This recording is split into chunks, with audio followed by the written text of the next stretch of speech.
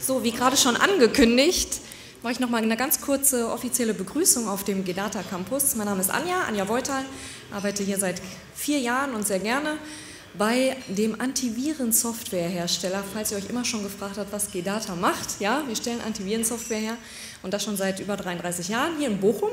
Sind dem Standort auch immer treu geblieben, konnten den Campus jetzt auch komplett hier kaufen und äh, herrichten als äh, attraktiver Arbeitgeber im Ruhrgebiet. Zu viel Werbung möchte ich nicht machen, aber offene Stellen haben wir heute auch ausgelegt, ne, falls sich jemand bewerben möchte. Hey, nein. Ähm, ansonsten, was muss ich heute erzählen? Wir äh, zeichnen die Veranstaltung auf, also alle, die nicht ähm, auf dem Film sein möchten, bitte nicht umdrehen oder keine Fragen stellen, aber das würde ich euch bei dem Thema vielleicht ähm, nicht empfehlen. Also es ist ja mit Jörg Vollmer äh, eine interessante Veranstaltung. Ich habe das Thema mir versucht nochmal drauf zu packen, aber ähm, der Jörg Vollmer wird euch das ganz besonders gut vorstellen können. Kotlin, so viel habe ich zumindest auswendig gelernt. Ihr habt hoffentlich schon gut gegessen, vegetarischen und einen fleischigen Auflauf aus unserer Küche. Und ich glaube, Apfelkuchen ist es als süße Variante. Ansonsten noch kurz zum Ablauf. Wenn die Veranstaltung vorbei ist, nutzt ihr bitte den Eingang links neben der Drehtür, wo ihr reingekommen seid. Da ist heute ist zwar Notausgang, aber wir schließen gleich die, aus Sicherheitsgründen die Drehtür ab. Also das wäre ganz toll, wenn ihr dann einfach den linken Ausgang wählt. Und jetzt übergebe ich schon an dich, Thomas. Ich freue mich auch, dass du wieder da bist und herzlich willkommen nochmal zum Meetup der Softwareskammer im Ruhrgebiet. Bochum. Tschüss.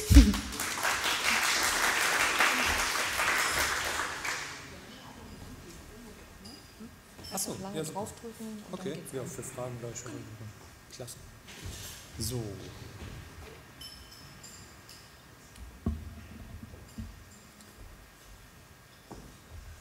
Jörg? Ich, ach, da bist du. Ich stell mal dein. Äh, ja, oder kannst du das? Oder nichts. Das ist ein Apple, ne? Ja, ja. Ja, dann lasse ich lieber die Finger.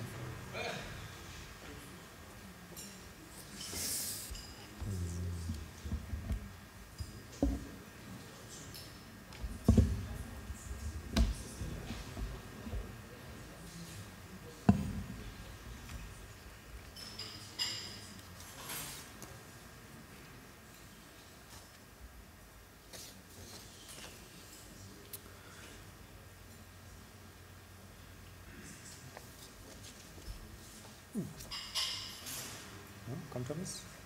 Hast du schon eingesteckt, Thomas? Ja. Ja, da, ich hab, gerade musste ich auch mal einfach hin und her switchen. Äh, da war es, glaube ich. Ah, ja, da ist es. Switch trotzdem noch mal. Was, nochmal switchen? Ja, das ist doch besser. Ja, jetzt kann ich viel besser lesen. Ähm, ja, hallo auch von mir. Ich bin der Thomas. Ähm, mit Kevin und Matthias und äh, Sandra und Georg organisieren wir das Ganze hier. Die Softwerkskammer Ruhrgebiet. Wer ist denn das erste Mal heute bei der Softwerkskammer dabei? Boah, immer wieder neu, sehr schön, ja cool. Ähm, wir haben gleich noch was zu verlosen, das packe ich mal hier. Genau. Ähm, geht das hier irgendwie weiter? Ja, das habe ich gefragt. Wer ist da? Ja.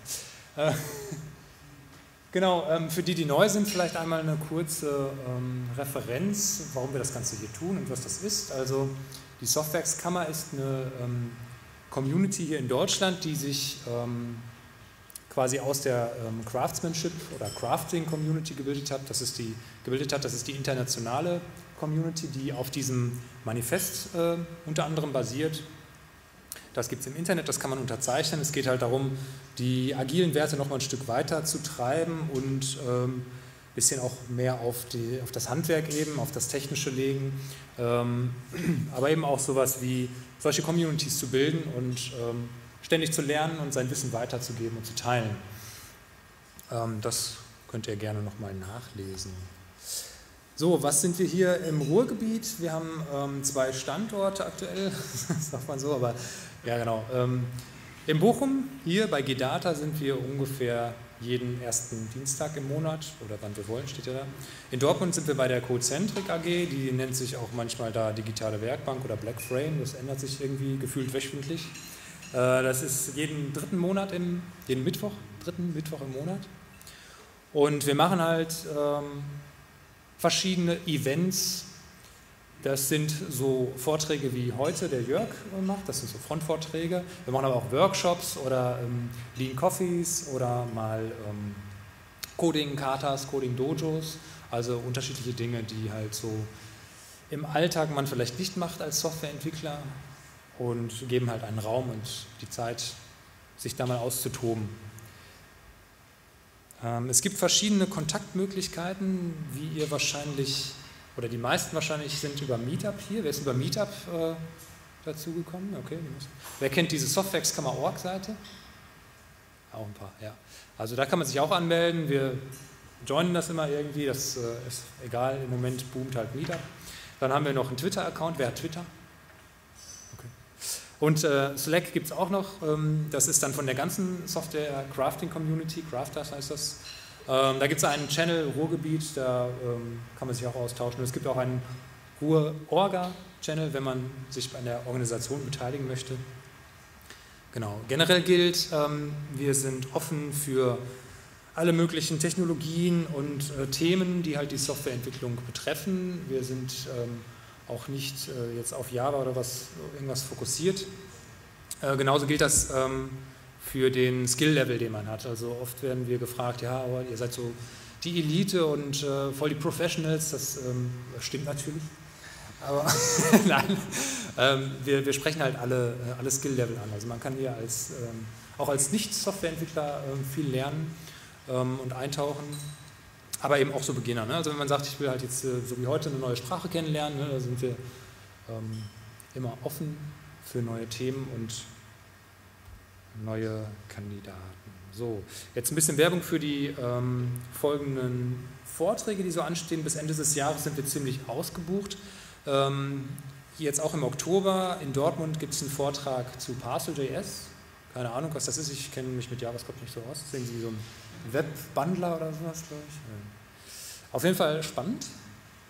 Der neueste heiße Scheiß. Und dann ähm, gibt es hier wieder in Bochum im November einen Vortrag Eat Your Own Dog Food. Ich glaube, da geht es um Architektur und Continuous Delivery, wie man so, glaube ich, methodisch und technisch alles aufbaut in so einem Enterprise-Umfeld. Ich habe keine Ahnung. Lest euch das durch bei Meetup. Genau, das ist eine ähm, spezielle Veranstaltung der Global Day of Code Retreat äh, im November. Das ist außer der Reihe ein äh, Ganztages-Workshop, könnte man sagen. Ist dann Samstag. Wir fangen auch recht früh an, für manche vielleicht zu früh, 9 Uhr oder so, glaube ich. äh, wer kennt ein Code Retreat oder das Format Code Retreat? Ein paar, okay.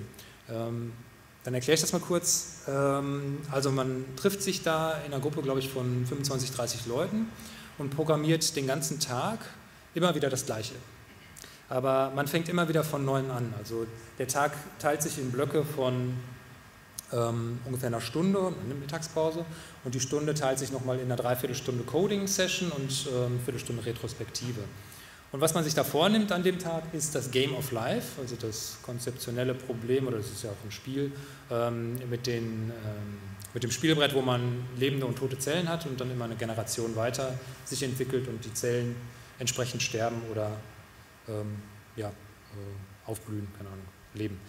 Und ähm, da geht es gar nicht mehr so, so um dieses ähm, Spiel, sondern darum, dass man eben innerhalb einer so einer Session zum Beispiel eine neue Sprache lernt oder sich methodisch weiterentwickelt, indem man seine IDE irgendwie lernt, Shortcuts oder sowas. Das Ganze machen wir im Pair, also mit jeder, in jeder Session ähm, wechselt man zu einem neuen Partner. Man teilt sich also die Programmierung quasi auf und ähm, am besten alles testgetrieben. Ist auch eine super Gelegenheit, das Ganze zu lernen. Also dieses methodische einmal das Pairing ist auch nicht so einfach, aber ähm, insbesondere Test-Driven Development. Und dann ergeben sich im Laufe des Tages äh, mit jeder Session neue Rahmenbedingungen. Also ähm, es kommen äh, so Regeln dazu, dass man zum Beispiel ähm, keine Schleifen mehr benutzen darf beim Coding oder dass man, ähm, was gibt es denn noch so, ähm, nicht mit seinem Pair sprechen darf, ne? also auf unterschiedlichen Ebenen oder nicht mehr die Maus benutzen darf oder gar keine IDE, nur den VI oder sowas. Ja? Also ähm, da gibt es, das wird immer auf die Gruppe abgestimmt, also da äh, nochmal die Betonung, da kann jeder kommen, jeder kann was lernen und mitnehmen, jeder kann auch was beitragen, egal ob Anfänger oder Profi. Ne? Ähm, dadurch, dass wir die Pairs immer mixen, gibt sich immer wieder was, äh, immer wieder neue Konstellationen. Genau, also das finde ich ganz spannend. Das, ich weiß gar nicht, ob wir noch Plätze frei haben, müsste bei Meetup mal gucken, aber ich glaube, da geht immer noch was. Ja, Groovy Shell Scripting, das ist der Georg mit einem Vortrag in Dortmund im November auch. Sehr cool, lohnt sich auf jeden Fall. Mal gucken, was Kotlin so zu bieten hat. Ähm, und das weiß ich jetzt gar nicht, das habe ich nur gelesen im Netz. Ein bisschen Shadow Testing, auch ein Vortrag hier in Bochum. Hm, was steckt dahinter?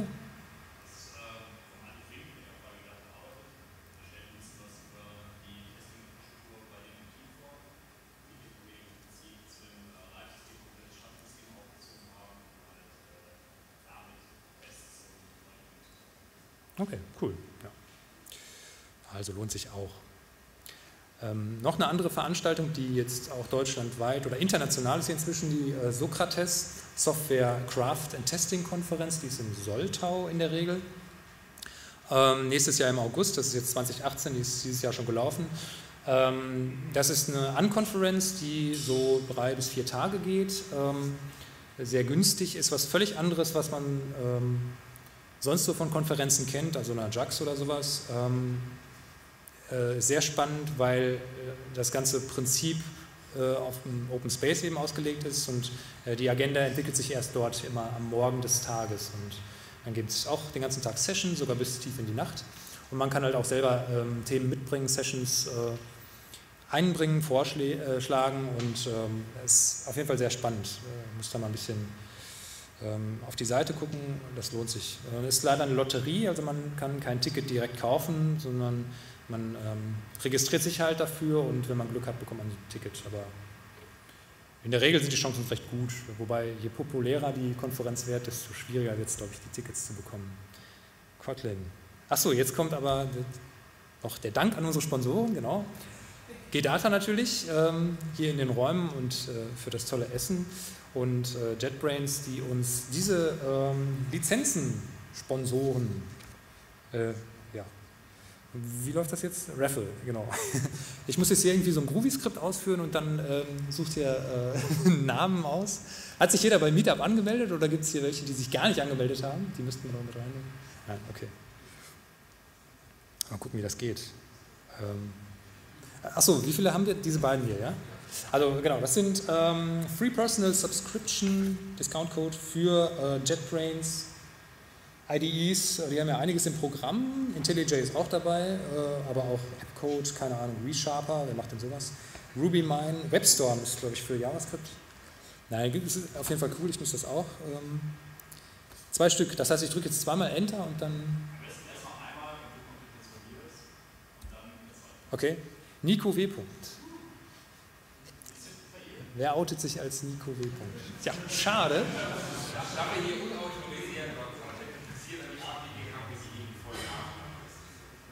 Ja, ich habe schon gesehen, es gibt drei. Matthias, da müssen wir gleich mal gucken. Okay. Dirk G., der ist aber hier. Auch nicht. Aha. Michael K., den kenne ich doch. Ja. Kannst du es gebrauchen? Ich habe als Student eh eine Okay, das ist eine Motivation. Äh, ja, willst du das haben? Also, wenn ihr mir besser gebrauchen kann, ich habe halt. Mach weiter. du hast doch ein langes Studium vor dir, habe ich gehört. okay. Ingo M. Ja, geht's das denn? Die Leute melden sich nicht ab. Sind das nur die Anmeldungen oder? Äh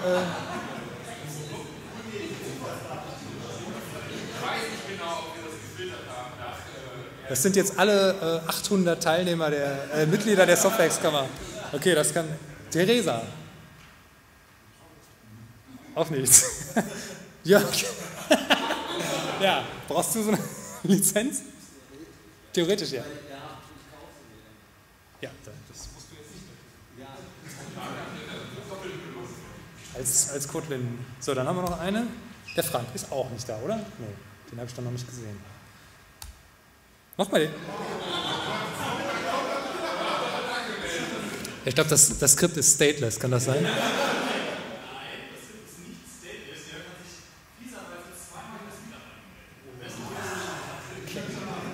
Meetup gehackt mit Kotlin. Mark B. Punkt. Christoph Pater ist das, der ist immer mit drin, weil er Orga ist.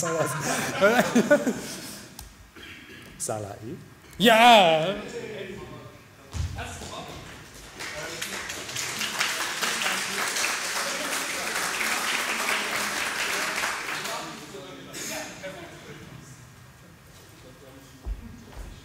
Okay. Wie kann ich das Skript abbrechen? Oh, es geht immer weiter. Ja, okay, war nur Spaß. So, ähm, also nochmal der Aufruf, wenn ihr Themenvorschläge habt, ob ihr gerne mal äh, was Bestimmtes hören wollt oder ob ihr selber ein Thema habt, so wie der Jörg, was euch am Herzen liegt, ähm, was ihr hier vortragen wollt oder einfach einen Workshop macht, kommt auf uns zu über die genannten Kanäle oder direkt persönlich. Kevin, Matthias, ich oder eben per E-Mail, wie auch immer findet einen Weg, wir freuen uns darüber. Dieses Jahr sind wir halt schon, glaube ich, ausgebucht, aber nächstes Jahr ist noch genug. Und damit sind wir auch schon fertig. Und endlich hören wir den Jörg zum Thema Kotlin. Vielen Dank.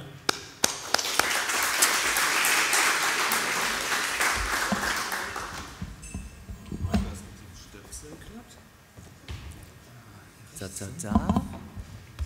Genau. Ich mache noch mal ein bisschen Strom drauf. So. So. Ja. Ja, das habe ich eigentlich hier. Ne? Da wäre der Code. Was ich noch bräuchte, wäre, wenn das geht. Ja, eigentlich schon. Da wollte ich eigentlich hin und her. Ja, genau. Darstellung eigentlich Vollbildmodus. So, das ist schon mal gut. Passt auch noch, ne? Und dann kann ich hier hin und her. Das ist sehr gut. Und mal gucken, ob der geht. Ja, auch gut. Okay. Ja, dann begrüße ich euch recht herzlich. Hoffe, das flackert das noch. Nee, ne? Hat sich jetzt. Bitte?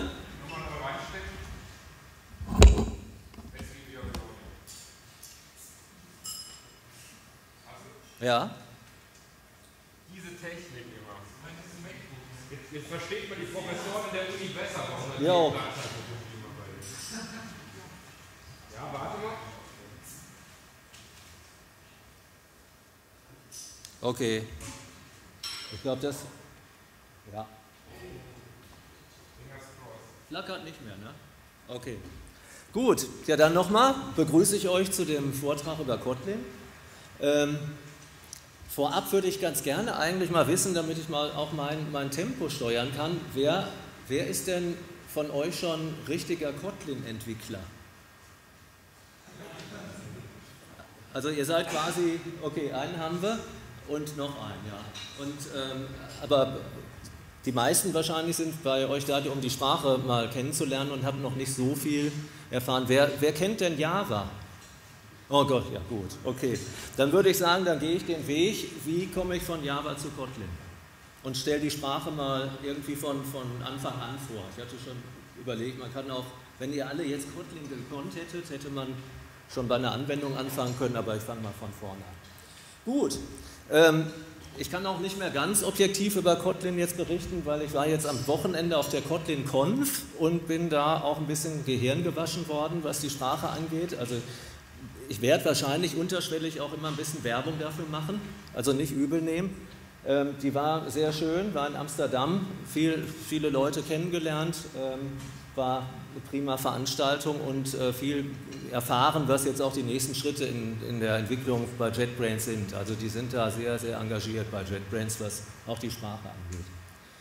Wie bin ich zu Kotlin gekommen? Da sind eigentlich zwei Personen schuld. Ich glaube, die eine Person wird man hier schon kennen. Das ist hier der Holger Große-Plankermann von Cocentric, der irgendwie mit dem ich zusammen in einem Projekt war und der mal irgendwann gesagt hatte zu mir, ähm, wir müssen uns mal Kotlin angucken, das soll ganz geil sein. Und ich wusste auch noch gar nicht, was das war. Und das war eigentlich der Initialzeitpunkt, wo ich dann mal im Internet geguckt habe, nach YouTube-Videos, gehöre jetzt eigentlich ja schon zu der älteren Generation, aber um mal was Neues zu lernen, gucke ich auch YouTube-Videos am liebsten.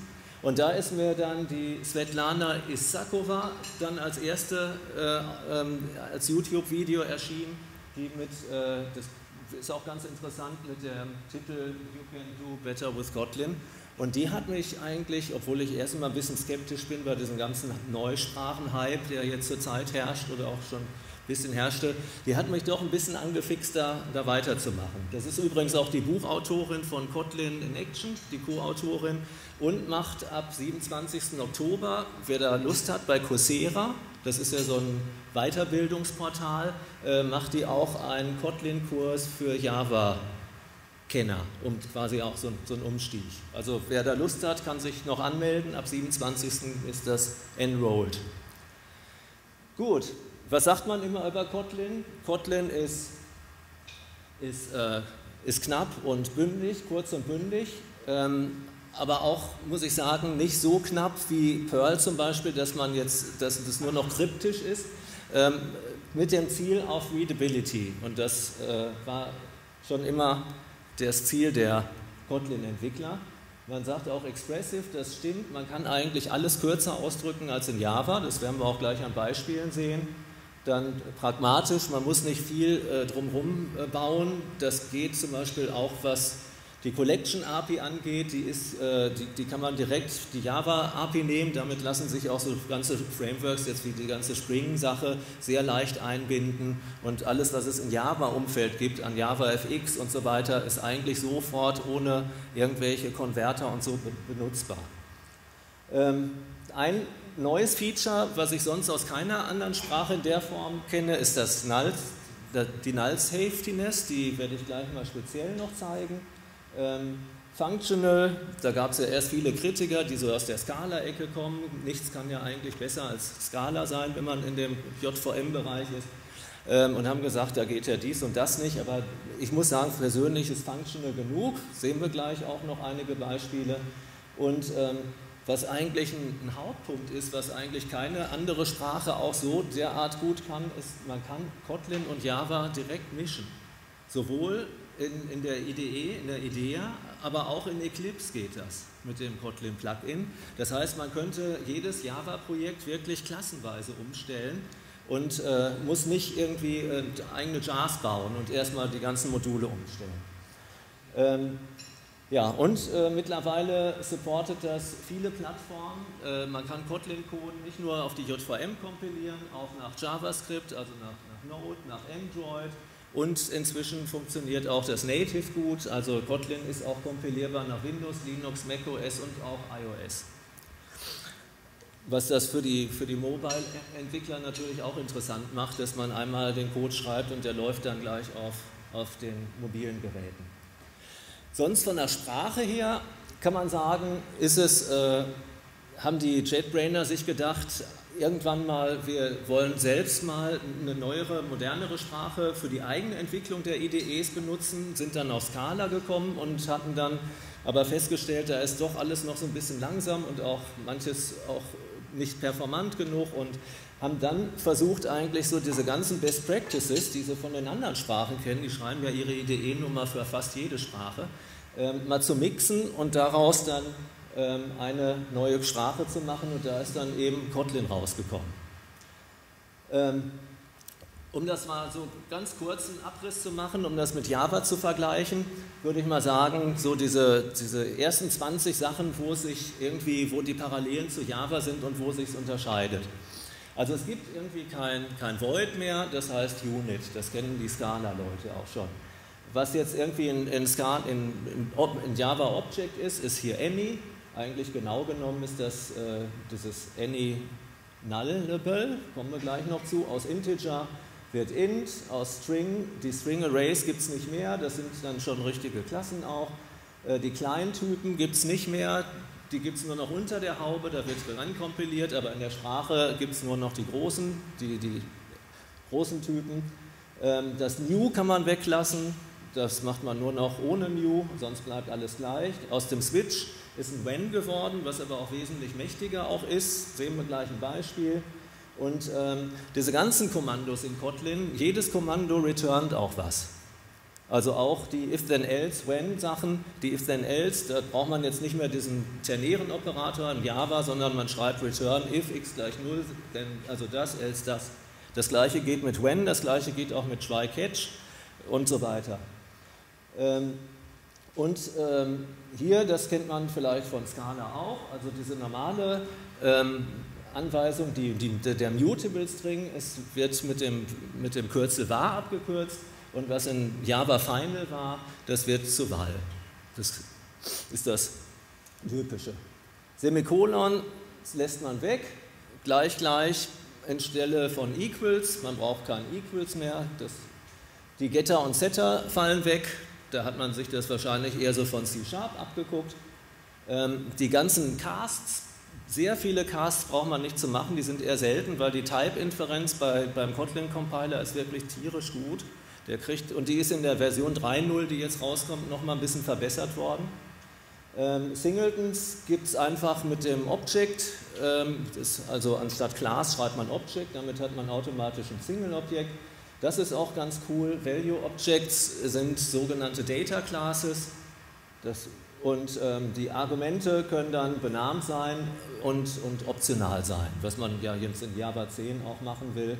Dann gibt es von, wer Python kennt, der kennt irgendwie auch dieses Ding, dass man also umgekehrt ein Objekt hat und ähm, dekonstruiert das, dass man Klammer auf hat und kriegt dann die einzelnen Bestandteile der, der Klasse dann zurück. Das gibt es bei Data Classes, ist das auch automatisch drin. Ähm, dann gibt es Pair und Triple als Standardtyp und anstatt von statischen Initialisierungen gibt es die sogenannten Companions und Objects. Die sind vielleicht aber bald deprecated, aber wollen wir mal gucken. Es gibt keine Checked Exceptions mehr, sondern nur noch Unchecked Exceptions. Der Grund kann man sich auch mal durchlesen, aber der geht grob so. Äh, Checked Exceptions sind zwar eigentlich gut, wurden aber nie gut benutzt. Wir haben sehr viele statistische Untersuchungen gemacht im Java-Code und das meiste, was man zu über 90 Prozent findet, ist Try-Catch, Dings, Pump, Throw, New, Runtime, Exception, E rein und fertig. Das ist so der Standardfall der Fehlerbehandlung. Und ähm, da hat man sich gesagt, dass, äh, dann braucht man diesen Boilerplate eigentlich auch nicht mehr. Wir präferieren lieber mal in unserem idiomatischen Kotlin-Stil ein vernünftiges Fehlerbehandlungssystem. Kann man auch ein bisschen drüber lesen. Ja, einfachstes Beispiel, Hello World. Ähm, die Funktionen fangen mit Fun an. Ja, das ist so, gab es auch natürlich wieder Kritik. Man kann das ja nicht noch Spaß haben dabei. Aber das war, war eine Entscheidung, die ist jetzt auch geblieben. Printline anstatt System Out. Äh, Print und ähm, das wäre das einfachste Hello World Programm.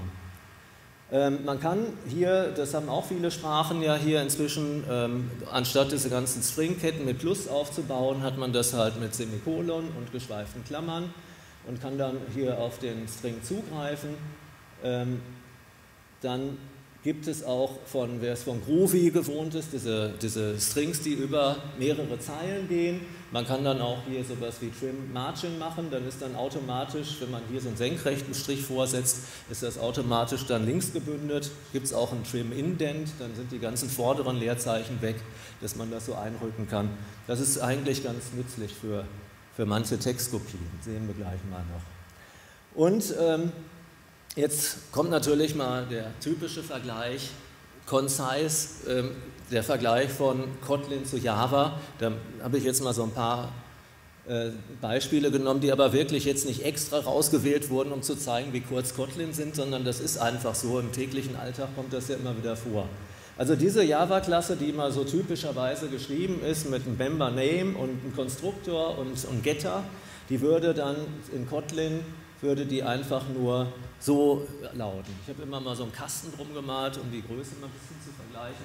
Also hier gibt es wie, wie, wie, bei Scala gibt einen so einen Standardkonstruktor, der, ähm, da sind quasi in, in, als Parameterliste die, die Members aufgelistet und äh, man kann zusätzliche Konstruktoren auch noch dazu geben, aber dadurch, dass man ja diese diese optionalen Parameter und die Parameter benamen kann, muss man auch längst nicht mehr so viel Konstruktoren überladen. Ähm, dann, bitte?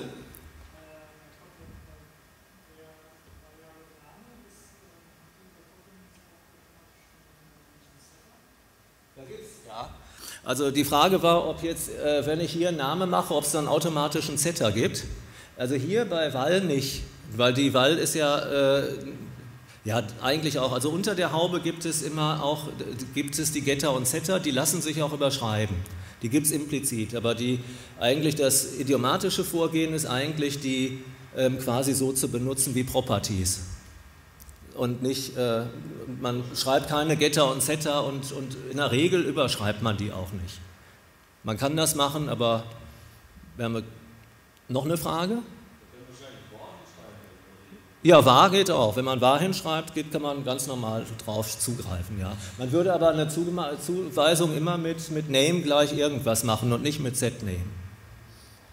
Ähm, in Kotlin sind die umgekehrt, sind die Klassen automatisch äh, public und dafür aber final. Und wenn man die öffnen will, dann muss man da open vorschreiben. Da gibt es auch noch eine Kritik, da weiß man noch nicht, ob man das so lassen wird oder nicht.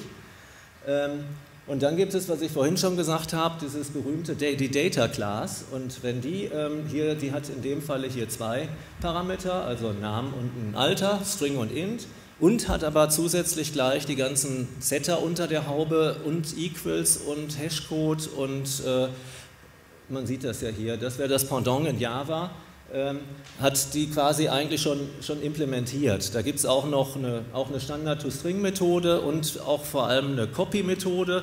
Die Copy-Methode ist eigentlich, die, die sollen eher die Funktionalen benutzen, damit man nicht irgendwie auf einer mutable Instanz ähm, settet, sondern da ist ja eigentlich der Stil eher, ich nehme eine Kopie von meiner Person und ändere dabei irgendwie einen Wert ab. Und dann kann man direkt schreiben Copy und dann den benannten Parameter, den man ändern will, übergibt man als Parameter und hat dann gleich die, die Kopie.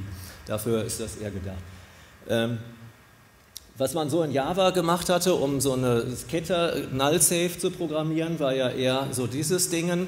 Ähm, das kann man in Kotlin jetzt auch mit dem Elvis-Operator kurz schreiben. Da gibt's, den gibt es bald in Java ja wohl auch. Ähm, und ähm, hier hinten ist der, der echte Elvis, also quasi mit den Augen und der, der Haartolle. Da gibt es quasi nochmal, dahinter kann man einen Default-Wert angeben, falls das ganze Ding quasi null ist. Ähm, was ja der neueste Schrei so im Java-Bereich ist bei Concurrency, das sind ja so seit Java 8 so diese Completable Futures.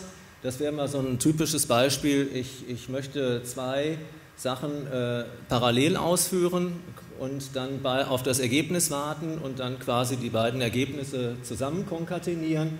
Das ist so dieser Functional-Ansatz. In Kotlin gibt es da was, das nennt sich Coroutine.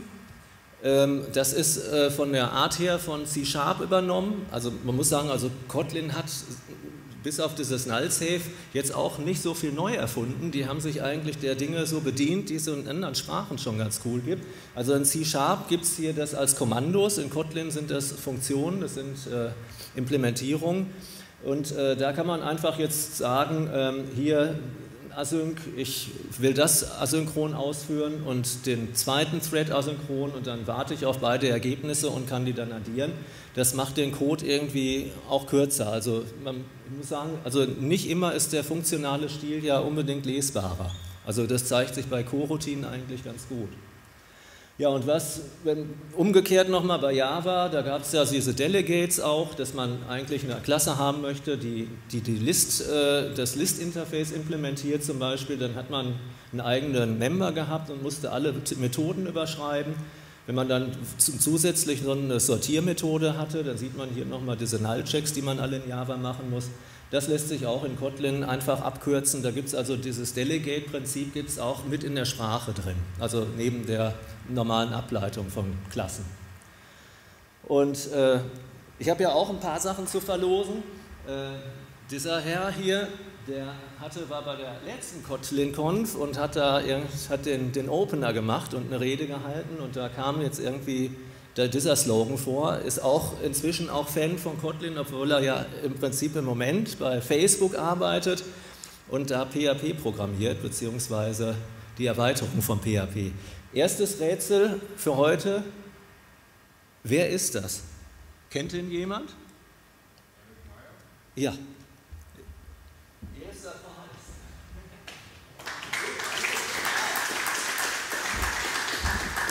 Eric mal, ich habe insgesamt fünf Quizze, also ihr habt noch, ich gebe auch das Geschenk, auch versuche ein bisschen zurückzugeben. Ähm, da ist so ein, ist ein Würfel drin, 2x2 Würfel, hat auch eine Bewandtnis. Ich hab, starte jetzt ein Projekt, ich möchte in Kotlin so ein, so KI-Würfellöser mal schreiben. Also ein, ein KI-Ding, was äh, eine Strategie entwickelt, so einen Würfel zu lösen. kann ich mal, wenn, wenn ich mal so weit durch bin, vielleicht lohnt sich das mal zu erzählen, wenn es was geworden ist. Ja, Eric Meyer ist, äh, ist so ein berühmter Papst für vieles. Der ist äh, aufgewachsen mit Haskell, hat dann bei Microsoft dieses Link-Framework für die Sharp-Sachen entwickelt, ist beim Reactive Programming dabei gewesen, erst in der .NET-Welt, dann bei RX Java und bei Dart bei Google und macht jetzt bei Facebook die Programmiersprache Hack, ist so eine PHP-Erweiterung mit vielen Monaden und so, kommen wir auch noch mal zu, und ist auch Fan von Kotlin. So, ein Punkt hatte ich schon gesagt, von Java zu Kotlin. Ich kann aus Kotlin ganz einfach im selben Projekt Java-Klassen aufrufen und kann auch umgekehrt im selben Projekt aus Java Kotlin-Klassen aufrufen. Kein Problem. Das funktioniert. Und wie gesagt auch in Eclipse. In äh, NetBeans habe ich es noch nicht probiert. So, ähm, Interoperability äh, ist auch, jetzt habe ich auf der Konferenz erfahren, auch möglich mit C, Objective-C und Swift, damit man so ein bisschen die Apple-Welt auch vielleicht mal versucht zu bewerben. Und ähm, dann kommen wir nochmal ganz kurz zu, zu Klassen und Objekten. Was ich schon gesagt hatte, dieser Konstruktor, der enthält die Parameterliste schon als Default-Konstruktor und das sind quasi dann so die Standard-Members, die man dann mit val und var oder auch weglassen kann. Also wenn man sie weglässt, dann sind es nur Parameter, die man bei der Konstruktion übergibt, aber die hinterher keine Members mehr sind. Das gibt es also auch noch. Also wenn ich hier zum Beispiel sowas in, in Java habe, da würde ich euch mal zeigen, das ist wieder diese Person mit Namen und ist verheiratet. Ich gucke mal, ob man hier in dieses Live-Coding reinkommt. Das wäre jetzt die Java-Klasse. Man kann jetzt hier das geht allerdings nur in IntelliJ. Man kann sich jetzt hier so eine Klasse Person zum Beispiel anlegen. Person ist ein bisschen klein hier. Nein, ich will es nicht gehen. Und jetzt, wenn ich dann den Java-Code hier hinzufüge, fragt er mich, ob, ich, ob er den in Kotlin umwandeln soll. Und wenn man dann sagt ja, dann passiert Folgendes. Dann ist es nur noch so kurz. Das ist so die Person, die wir da jetzt hier sehen. Ähm, dann kann man natürlich auch zusätzliche Parameter, äh, Member Properties ähm, definieren in der Klasse, ganz äh, neben denen, die man den Konstruktor übergibt.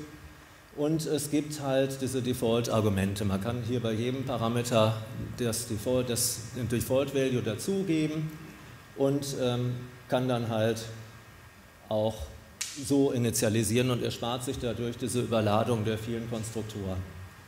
Was man auch machen kann, ist hier ein benannter Parameter, falls der erste halt den Default-Wert unknown hat, aber ich möchte den zweiten jetzt überschreiben mit true, dann kann man den einfach hier benannt übergeben.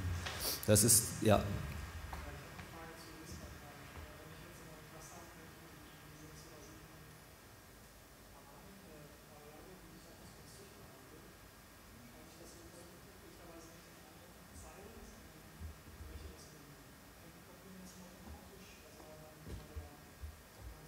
Ja, ja, der, der, ja, ja, das stimmt.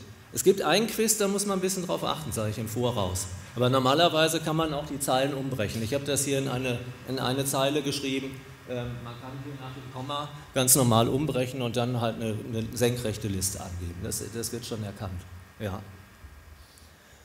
Ähm, es gibt auch die Custom Getter. Man kann sich hier auch einen eigenen Getter schreiben für eine Property und äh, für eine neue Property, die sich quasi aus den beiden ergibt, sowas wie isQuared. Und dann schreibt man diesen Getter dann dazu, das ist dieser gleiche Stil wie bei C-Sharp, und dann kann man zum Beispiel return, äh, wenn es quadratisch ist, dann ist Höhe gleich Weite, dann, dann ist das quasi eine, eine, eigene Property, die man auch hier dann genauso benutzen kann als mit dieser Notation Punkt ist quert. Date Construction hatte ich schon erwähnt. Man kann also, wenn man umgekehrt hier zwei äh, Variablen hat, kann man die wieder auseinanderziehen und hat dann hier zwei einzelne Variablen, die man im Code weiter benutzen kann. Ob, bitte?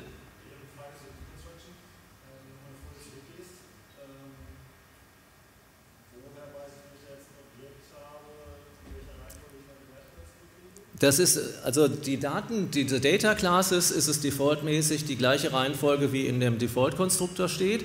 Die haben implizit, gibt es dann auch Methoden, die heißen get Component 1 und Component 2. Die kann man auch wieder überschreiben und, ähm, und dann kann man auch selbst angeben, in welcher Reihenfolge man das dann zurückhaben will. Also bei Nicht-Data Classes muss man diese Methoden sowieso implementieren, damit das geht.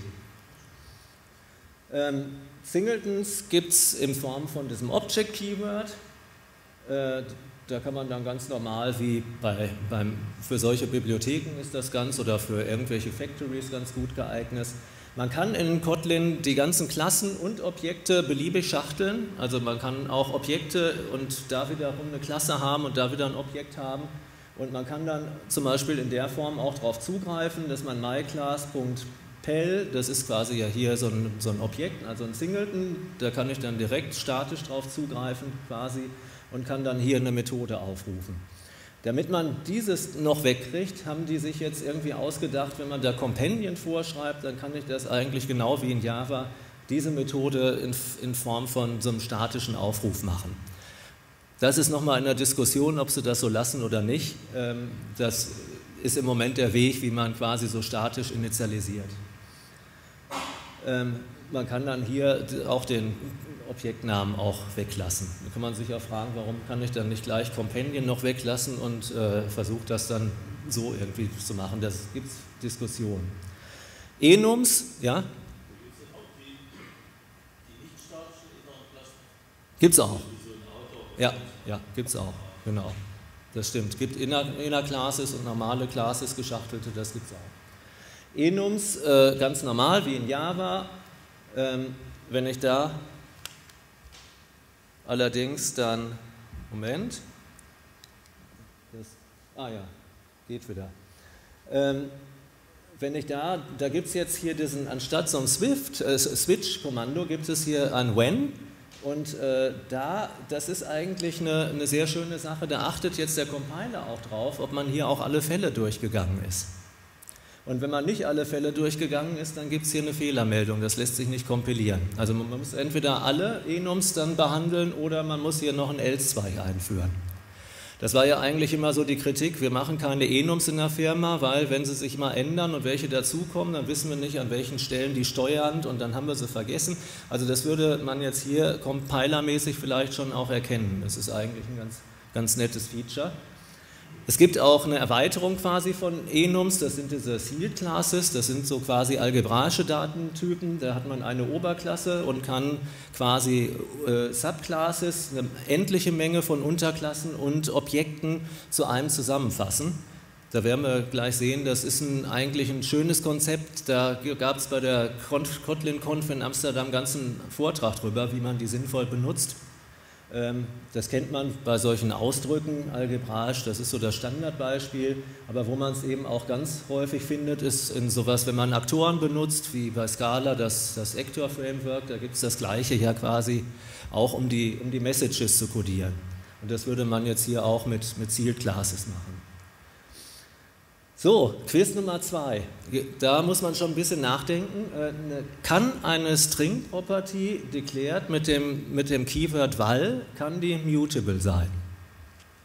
Nein.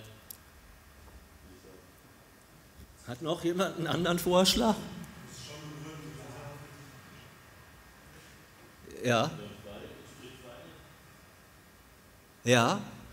Aber es, äh, und was heißt mutable heißt ja, dass der Wert sich verändern kann. Also die Frage ist, kann eine Variable, die ich mit val deklariert habe, nochmal ihren Wert verändern? Ja.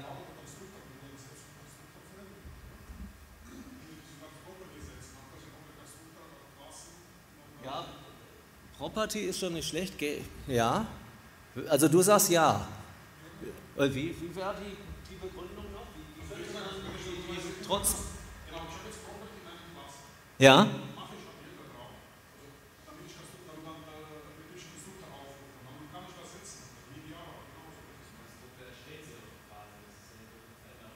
Nee, dann ist sie ja eigentlich fix. Ne? Also auf welche Art und Weise könnte, die, könnte eine Property ihren Wert noch verändern? Noch, noch einer eine Idee? Nee. Ja, sehr gut. Der Gitter überschreiben. Dafür gibt es den. Kannst du das fangen? Sehr gut. Ja. Man kann einfach den Getter überschreiben und kann meinetwegen irgendwie äh, so ein New Date machen to String.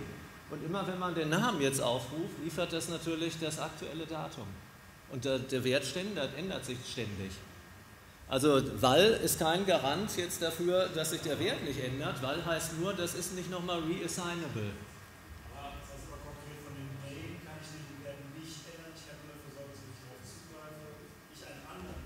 Richtig, quasi, also das ist quasi ein Getten überschriebener Getter, der quasi nicht das Backing-Property. Ja, so ist es. So ist es, genau. So ist es, ja. Das stimmt. Ähm, man kann, wenn man unbedingt will, ähm, das auch noch durch das Konst äh, verhindern. Wenn ich Konst noch davor schreibe und ich will ganz sicher sein, dass sich so ein String nicht verändert, kann ich das machen, dann darf ich auch das Ding gar nicht mit dem Getter erst überschreiben. Gut, jetzt kommen wir mal zu diesem, diesem Null Safety. Das finde ich, äh, das würde ich ganz gerne auch mal live vorführen. Da wird ja viel drüber gesprochen. Ähm, und zwar, kann man das sehen, noch von der Größe? Ja? Okay. Gut. Also ich kann zum Beispiel hier eine Variable ähm, str von Typ String zum Beispiel deklarieren und kann da meinetwegen Hallo reinschreiben. So, wenn ich jetzt da, das ist ganz normal, funktioniert, ne? Typ String. Wenn ich jetzt da versuche, Null hinzumachen, dann gibt es hier schon ein eine rote Unterschlängelung. Das darf nämlich nicht. Er schlägt mir dann vor, Change Type to String, Fragezeichen. Das heißt eigentlich, in Kotlin sind, äh, sind Typen, die ein Fragezeichen haben, nullable und die ohne Fragezeichen sind halt nicht nullable. Und was jetzt eigentlich ganz cool ist, wenn ich jetzt versuche, meinetwegen die Länge auszugeben, das, das bietet er mir schon gar nicht an. Ähm, wenn ich jetzt hier, ich muss das nochmal rückgängig machen, ich mache nochmal Hallo da rein und äh, dann, dann wird er natürlich hier auch die Funktion Length anbieten. So, um die Länge auszugeben. Aber sobald ich das jetzt hier ähm, nullable mache, kommt hier auch eine Meldung, ähm, sei vorsichtig, das Ding kann null sein und äh, so geht es nicht. Dann macht er mir hier wieder Vorschläge. Man kann jetzt eigentlich das ganze Ding mit einer Nullprüfung umgeben. Dann würde automatisch das auch wieder gehen. Dann akzeptiert der Compiler das. Man kann auch unbedingt sagen, lass mich in Ruhe, ich möchte da wie früher eine Null Pointer Exception eventuell akzeptieren. Dann kann man das mit zwei Fragezeichen machen, Ausrufezeichen. Oder man kann halt das Fragezeichen dahinter setzen und das ist dann dieser Elvis-Operator, der dann sagt, wenn, wenn String null ist, ist das Gesamtergebnis null und ansonsten ist es die Length. Wenn man jetzt hier noch will, dass die Length äh, nicht null ist, sobald str null ist, sondern den Wert 0 hat, dann kann man den Default-Wert jetzt in der Form noch hinten angeben. Und das ist, äh, muss ich sagen, eigentlich wirklich ein ganz cooles Feature. Ich habe äh, auch gemerkt, ähm, wenn ich Fremdencode angucke, dann frage ich mich, also ich finde die Null Pointer Exceptions an sich gar nicht so das Problem, weil die findet man relativ schnell am Stack Trace und dann kann man die auch schnell korrigieren. Ähm, aber was, ich, was mir immer so ein bisschen auf die Nerven geht, ist, wenn ich Fremdencode gucke und muss immer überlegen, darf ich da den Parameter null übergeben, ja oder nein? Und wenn eine Methode irgendwas zurückliefert, ist das Ergebnis null. Muss ich da null-check machen, muss ich da null-save, dann mache ich es lieber und dann habe ich wieder Boilerplate und so weiter und habe überall diese null-checks dann vorsichtshalber eingebaut. Und das muss ich halt, wenn ich jetzt so ein Typsystem habe, was das von vornherein verbietet und wo der Compiler darauf achtet, natürlich nicht mehr machen. Das finde ich eigentlich schon echt ein cooles Feature. Was ja manche in Java gemacht haben, da gibt es ja dieses Optional. Es gibt auch Projekte, habe ich gehört, die benutzen auch nur noch Optional und da darf keine Variable mehr null sein. Aber ich finde das auch äh, von der Schreibweise auch immer so mit diesem is present und get und so, das ist, äh, finde ich, auch nicht die hübscheste Art. Also da finde ich das hier schon eigentlich schöner gelungen, weil man einfach das Nullen einfach weiterhin auch benutzen darf. So, dann das hatten wir jetzt. Functions, also wir behaupten ja, dass es auch functional genug ist. Functions gibt es erstmal ganz normal in dieser Standardform, ähm, dass man das kennen, das Schlüsselwort fun vorsetzt und dann mit einem Parameter und hier als Ergebnistyp, der steht immer in, in Doppelpunkten. Ich glaube, das habt ihr schon mitbekommen. Das ist umgekehrt als in, in Java, das ist wie in Scala. Man macht erst die Variable, oder in Pascal, glaube ich, war das ja auch mal so, ne? und dann kommt dann Doppelpunkt und der Typ dahinter. Man kann auch eine kürzere Schreibweise noch verwenden. Wenn man da nur einen Wert zurückgibt mit Return, kann man den auch direkt dahinter schreiben. Oder man kann das Ding auch anonym definieren und einer Variablen zuweisen, dann ist der Doubler halt hier in, dem, in der Variable drin. Ähm, und man kann das natürlich beides kombinieren und dann der Variablen direkt halt diese Funktion zuweisen. Ähm, die Funktionen, die haben auch Typen, also auch Kotlin ist streng typisiert, auch was die ganzen Funktionen und Lambdas angeht. Und die Typbezeichnung hier für, für solche Funktionen ist ähm, immer int nach int, wobei jetzt hier in Klammern halt die, das, das, steht für die Liste der Eingabewerte. Hier könnten halt auch bei drei Parametern würde dann int, sowieso, sowieso stehen und hier hinten steht der Ausgabetyp der Funktion. Äh, man kann den da hinschreiben, aber wie gesagt, Kotlin ist, äh, was Type-Inferenz angeht, so schlau, man muss es nicht. Das erkennt automatisch, dass das jetzt eine Funktion von int nach int ist, was ja hier auch nicht so schwer ist. Ne? Ja, bitte? Ja. Ganz selten gibt es auch Fälle, wo man das angeben muss, da muss man dem das sagen, ja, das stimmt. Aber das sind schon eher mit Generics und, äh, und sehr viel Gedöns drumherum. Also bei diesen einfachen Sachen passiert das eigentlich nicht. Ähm, dann gibt es auch, ja,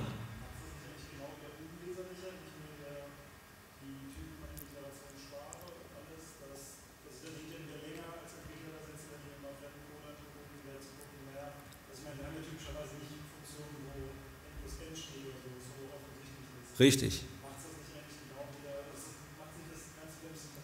Also du kannst entweder, kannst du den Typ ja hinschreiben, das ist klar, und in der IntelliIDE gibt es auch eine Einstellung, dass dir in Grau immer der Typ angezeigt wird.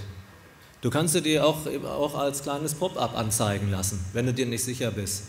Das geht auch. Also da gibt es Unterstützung, finde ich genug. Ja. Ähm, Lambdas werden äh, ähm, so geschrieben, und zwar grundsätzlich mit geschweifter Klammer auf und geschweifter Klammer zu. Ähm, auch wenn man die nochmal einer Methode übergibt, ist es anders als in Java, da schreibt man dann ja schon mal T, wird abgebildet mit dem Pfeil auf irgendwas, da ist jetzt ja nichts drumherum. Hier bei, in Kotlin sind Lambdas eigentlich immer mit, mit so geschweiften. Wir werden auch gleich sehen, das hat auch so einen gewissen syntaktischen Zucker noch für viele Fälle. Ähm, genau, die Summe kann man auch schreiben. Hier sieht er dann cannot infer type for this Parameter. Wenn man jetzt einfach nur n, m nach nm schreibt, dann kann er das nicht identifizieren, was soll das jetzt hier eigentlich für ein Typ sein. Also entweder man gibt den Typ hier an oder man kann den Typ auch innerhalb des Lambdas angeben. Higher Order Functions gehen natürlich auch. Man übergibt dann halt als Variable und übergibt diesen Typ.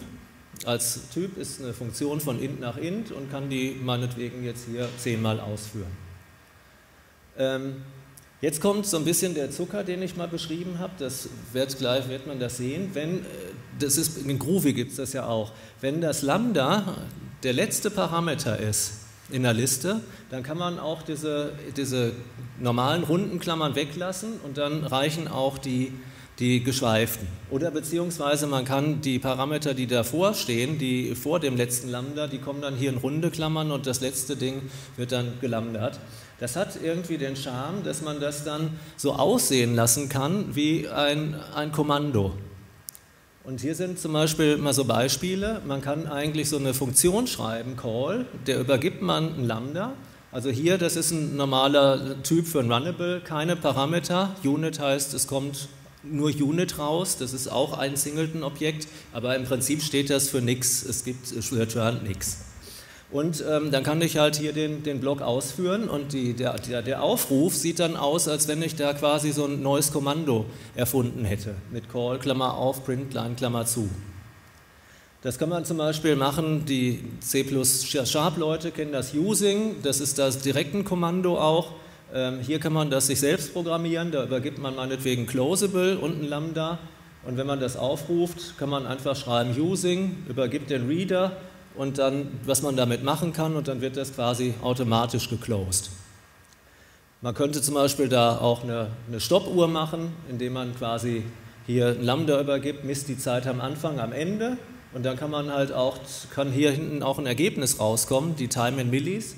Dann kann man das so aufrufen, Stopwatch und dann halt meinetwegen Kommando und kann halt die Zeit ausgeben. Und was auch ganz nett ist, man kann zum Beispiel, um irgendwas im, im, im separaten Thread zu starten, könnte man sich auch selbst schreiben. Äh, dann hat man, man sieht eigentlich hier, was man so in Java schreiben würde und kann dann hier eigentlich in Kurzform schreiben, Thread, Klammer auf, und äh, dann wird das automatisch concurrently ausgeführt. Also das gibt es auch schon im Standard-Repertoire, in der Standard-Kotlin-Library. Da gibt es auch dieses Messen von Zeiten und äh, so ein paar Sachen gibt es da schon. Was jetzt noch ein ganz äh, irres Ding ist, ist aber auch geklaut von C Sharp, das sind die sogenannten Extension Functions. Und die machen eigentlich, finde ich, dem Entwickler eine, eine, besondere Freude, wobei man da auch ein bisschen vorsichtig sein muss. Ich erkläre erstmal, was das ist.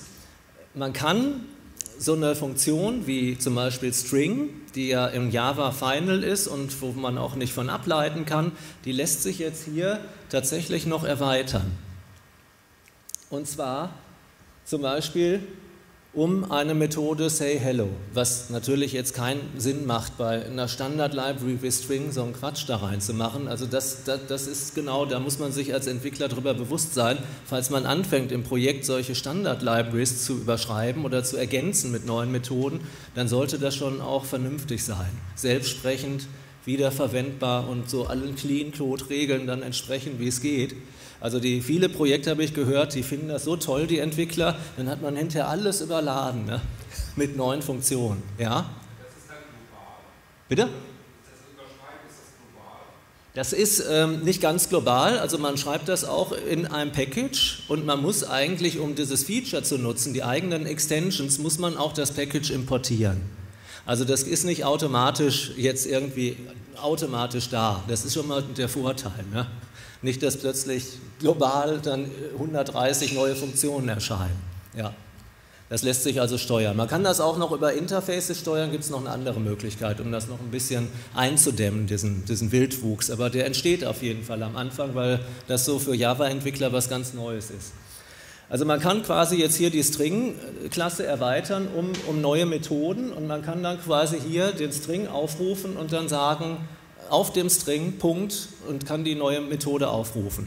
Jetzt haben natürlich viele irgendwie schon äh, die Angst, mein Gott, ist das nicht irgendwie ein invasiver Eingriff in meine String-Klasse, von der ich ja eigentlich gar nicht erst ableiten will.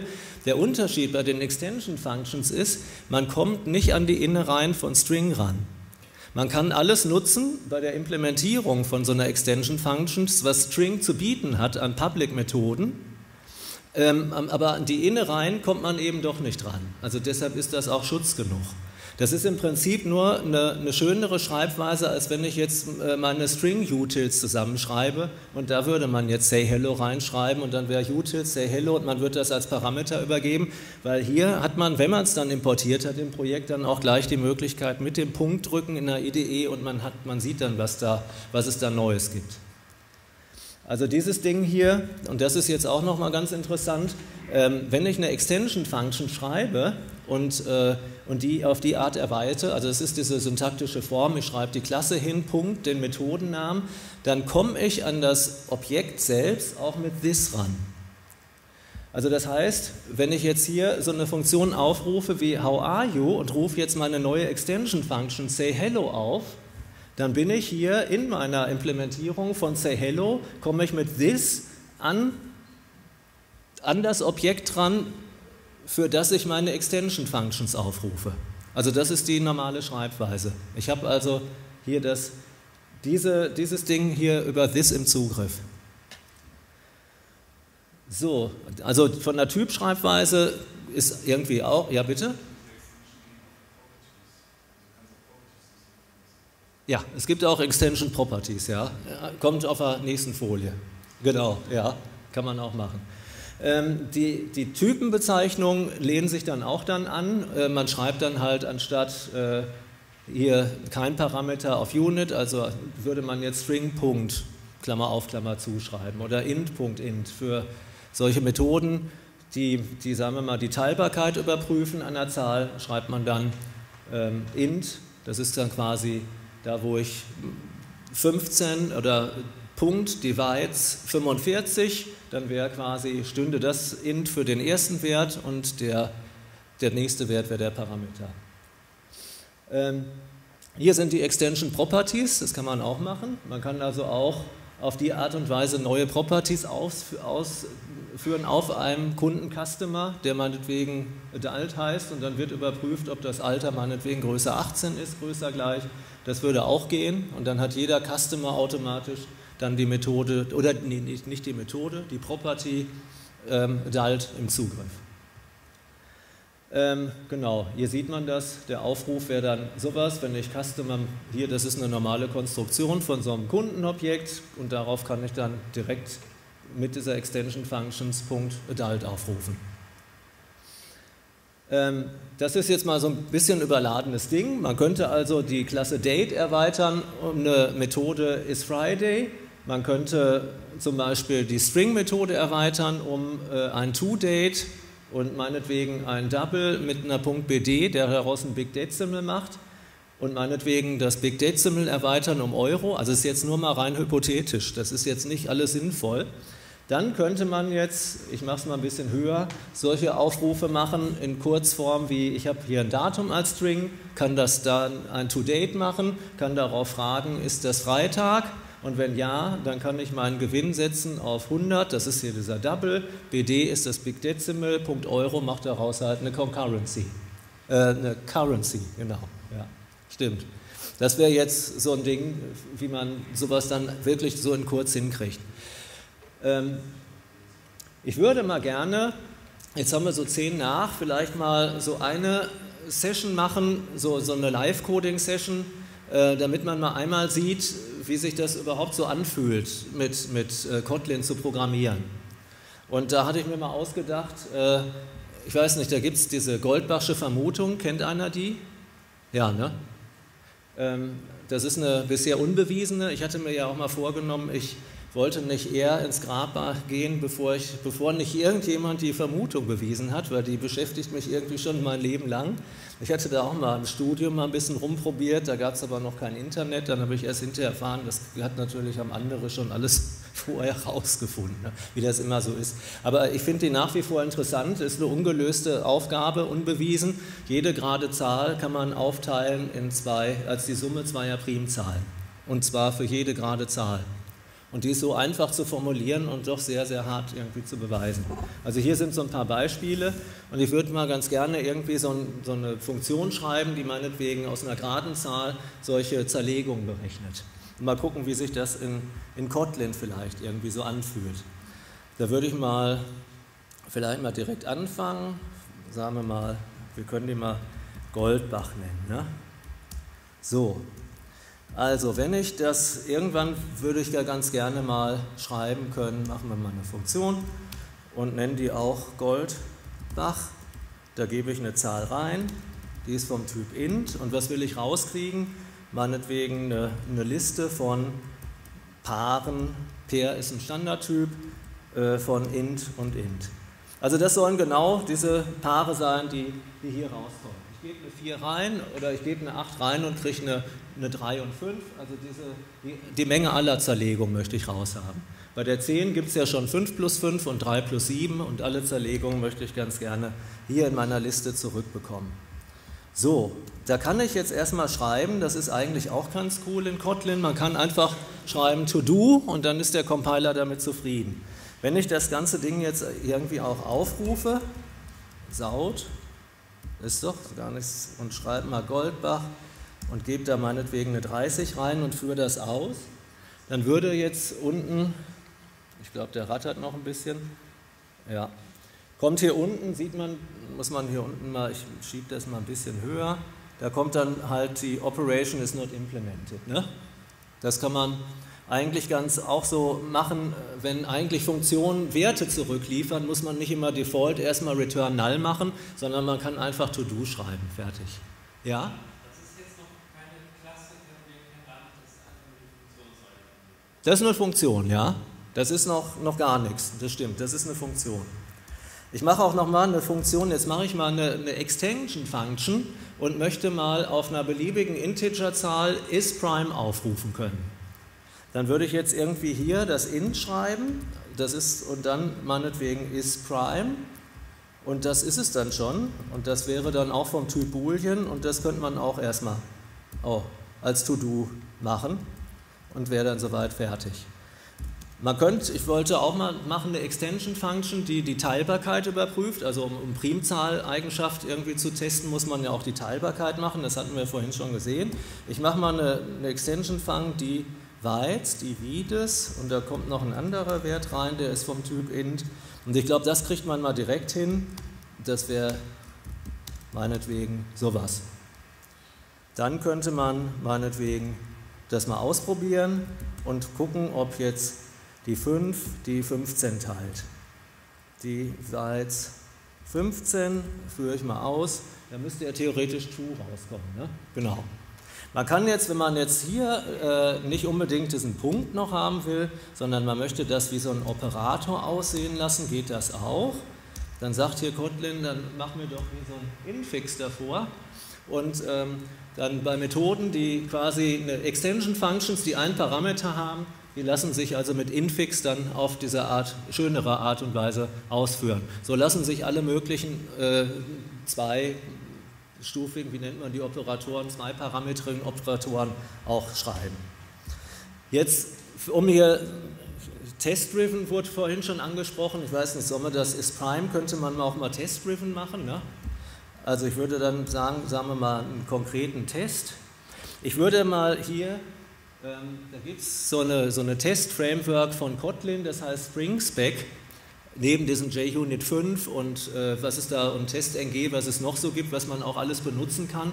Äh, das ist so ein kleiner Exot. Ich würde das jetzt ehrlich gesagt so im Projekt nicht einsetzen, aber das ist eigentlich ganz nett. Man kann mal gucken, was man da, man sieht mal, was man damit noch so machen kann. Ich kann jetzt also hier meine Testmethoden als String schreiben. Ich kann zum Beispiel sagen test all primes und kann dann hier das ist auch eine Extension Function zu dem String. Ich kann dem String quasi jetzt Lambda übergeben und könnte jetzt hier meinetwegen sagen, ähm, wenn ich jetzt hier mal die Primes alle hätte, also sagen wir mal list of, das ist auch so ein Standardkommando, da könnte ich mal solche Sachen reingeben, 2, 3, 5, 7 meinetwegen und dann könnte man hier schreiben primes, dann for all, das ist ein Kommando aus dem Test-Framework, it is prime. Dann gibt es hier solche Vergleiche, ich weiß nicht, should be true, sowas. Das wäre jetzt zum Beispiel möglich. In diesem Test-Framework wird man den Test jetzt irgendwie auf die Art und Weise schreiben. Da könnte man jetzt hier das Ganze für die Non-Primes machen, meinetwegen auch noch. Und dann würde dann anstatt true, wird man dann false schreiben. Und hier müsste man sich auch nochmal so Non-Primes ausdenken. So, der Test wird natürlich scheitern, natürlich, weil ja, die Funktion ist prime, wir können das ja mal probieren, noch gar nicht implementiert ist. Der müsste jetzt gnadenlos auf die Nase fallen, was er auch tut. Ne? Also da steht also hier überall, er hat versucht 2, 3, 5, 7 zu implementieren, kriegt überall Operation is not implemented. Jetzt würde man mal dieses is prime natürlich ein bisschen ausimplementieren und würde sagen, zum Beispiel, when, ich, ich return mal den Wert gleich, das sieht man. Also man kann auch, wie gesagt, jedes Kommando kann man returnen als Wert. When, also this, this ist ja jetzt quasi das int, was ich extensionmäßig aufrufe. Wenn ich 15 ist prime aufrufe, ist 15 das ist. Also gucke ich mal, ist das meinetwegen innerhalb des Intervalls 0 bis 1, dann ist das keine Primzahl. Ne? Ist das meinetwegen die Zahl 2, dann ist das eine Primzahl. Ist das ähm, durch 2 teilbar, dann, jetzt kann ich das ja so schreiben, dann ist es keine Primzahl. Und meinetwegen else könnte man auch nochmal wieder machen to do. So, in der Art. Jetzt müsste eigentlich theoretisch unser Test, der Test müsste eigentlich fast, ja, hier sind die falschen Werte drin.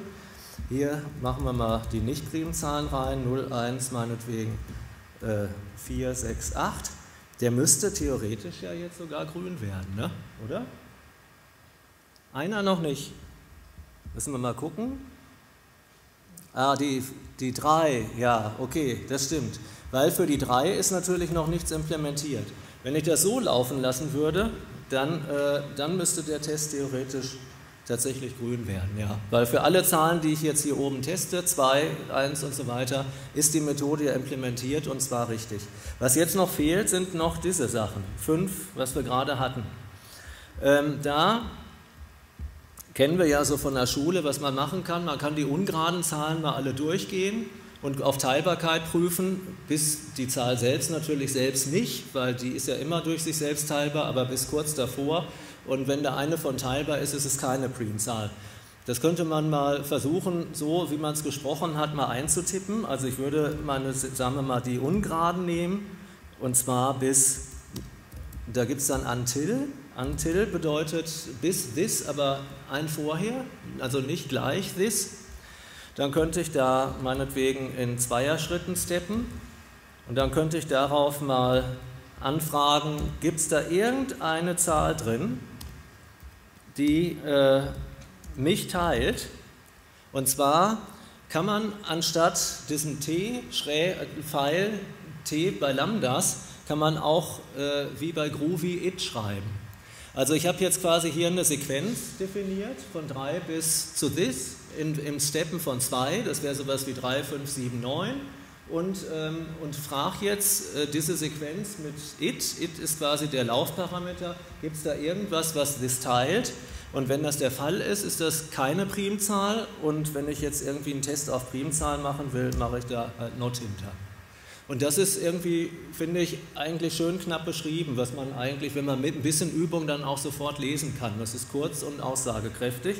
Und da müsste dann theoretisch ja jetzt auch dieser Test jetzt gut gehen. Ja, tut er auch.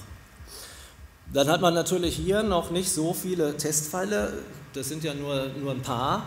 Man könnte jetzt zum Beispiel, wenn man, war vorhin mal im Internet, als ich hier war, man könnte sich jetzt hier auch mal ein paar Primzahlen rauskopieren, gibt irgendwie Primes 1000, kriegt man die sofort und macht das hier quasi hier an der Stelle. Da sind dann ganz nett diese Dinger, da kopiert man die einfach rein. Ne? Das Trim-Indent brauchen wir gar nicht, aber wir müssen das irgendwie splitten. Ne? Wir müssen splitten nach Leerzeilen. Weiß noch einer Whitespace als Rec-Apps, was das ist? Backslash S. Da kann ich jetzt entweder das so auch hier, glaube ich, und dann müsste man, weil es mehrere sind, mit Plus. Also mindestens ein Whitespace wäre Backslash S. Wenn man ein Backslash schreiben will, dann kann man hier auch diese Dreier-Dinger nehmen. Ne? Also alles, was in den Dreier-Dingern steht, wird genauso übernommen, wie es ist. Dann müsste man mal gucken, ähm, ich, guck, ich filter mal nach denjenigen noch, die, da gibt es auch wieder das It, ist, die nicht leer sind und ich glaube, ich map das dann mal auf eine Integerzahl. Ne?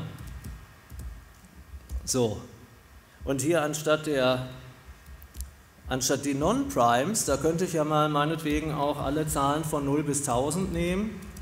Das, wir hatten ja bis 1000 und kann einfach sagen, filter mir die raus, die gerade nicht in den Primen sind. Ne? So. Also es gibt, man muss sagen, die Kotliner haben in der Standardbibliothek auf den Collections ziemlich viele neue coole Funktionen gemacht. Man muss eigentlich auch nicht jetzt diesen Umweg gehen über Stream, und äh, um diese ganzen Sachen rauszufinden, sondern die sind selbst als Extension Functions auf den Collections definiert. Und da gibt es eigentlich, wenn man einfach in natürlich sprechen will, gibt es eigentlich alles, was man so haben will, ist da vorhanden und wenn nicht, kann man sich ja selbst dazu extenden. Und jetzt müsste jetzt hier theoretisch der Test ja auch noch grün bleiben, falls unser Primzahlenalgorithmus richtig ist. Das ist es, genau. Ähm, man kann jetzt, da will ich noch mal ein bisschen vorgreifen, ähm, hier auch was ganz Besonderes, Lustiges machen. Man kann so unendliche Mengen definieren. Zum Beispiel All Primes, das ist so eine Sequenz. Das ist in Kotlin eine Sequenz. In Java gibt es das im Prinzip auch. Das ist der Stream, der lazy evaluated wird. Aber hier kann man noch was Cooleres machen. Man kann dann schreiben zum Beispiel Bild, Sequence, kann dann hier meinetwegen sagen, ich gehe mal alle Zahlen, die es gibt, durch vor n in meinetwegen 0 bis ähm, int max value und wenn n eine Primzahl ist, dann yielde mir die. Und das ist jetzt wirklich Magic-mäßig, was da passiert. Ähm, man hat hier quasi ein Programm, was eine unendliche Ausführung macht und, und mit dem Yield-Kommando wird gesagt, welche Zahl möchte ich denn in meiner unendlichen Sequenz drin haben. Und das Witzige ist, ähm, das wird hinterher, wenn ich inter sage, gleich, werde ich mal sehen, da sind schon Co-Routinen drin. Also hier in dieser Routine bei Yield kann, wird das Programm anhalten. Wenn man sagt, gib mir mal das erste Sequenzelement, dann läuft das so lange durch, bis es auf ein Yield läuft, gibt diesen Wert zurück und hält an. Und wenn ich dann noch einen haben will, läuft das Programm weiter bis zum nächsten Yield und gibt mir das zurück. Und das ist intern unter der Haube mit, mit diesen Coroutinen realisiert. Also Coroutinen sind Programme quasi, die an einer beliebigen Stelle, nicht an jeder, anhalten können und die können dann fortgesetzt werden. Damit macht man auch solche Concurrency-Sachen, kann man sogar auch auf einem Thread machen und äh, kann dann quasi selbst mit den Coroutinen dafür sorgen, dass die sich so gegenseitig quasi wie parallelisiert aussehen lassen. Jetzt wollen wir einmal noch zum Abschluss den, den Goldbach hier nochmal machen.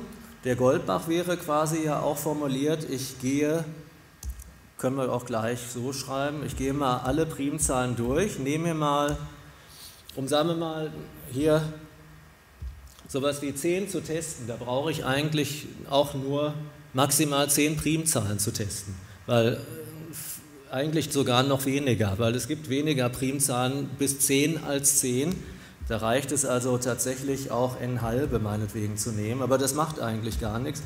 Ich filter mir die sowieso nochmal. Ich sage mir, ich nehme mal alle, die kleiner sind als kleiner, hoch, kleiner gleich n halbe. Und ähm, denn ich will eigentlich bei so einer Zerlegung, will ich nicht, äh, wenn ich 10, 3, 7 habe, nochmal 7, 3 haben. Also ich nehme alle Primzahlen, die bis zur Hälfte gehen, bis maximal 5. Und dann kommt 5 5 raus und wenn, ne, dann, und jetzt filter ich mir dann die, die, wobei n minus this meinetwegen auch eine Primzahl ist.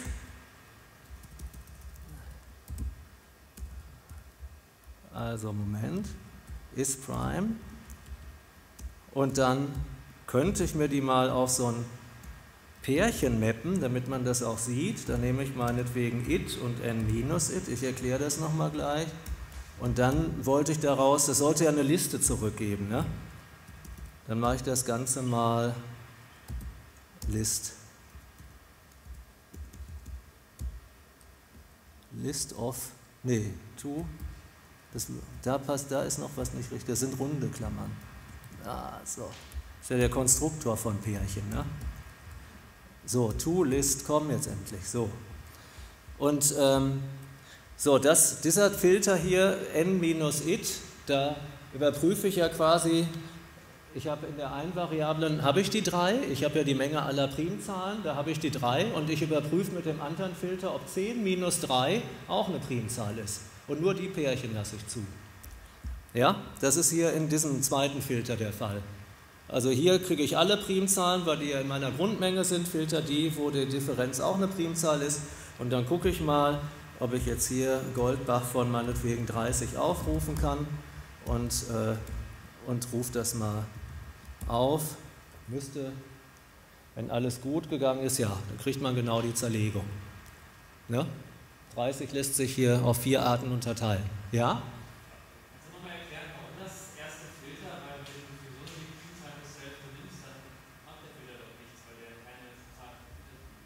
Dieser hier, also wenn ich den weglasse,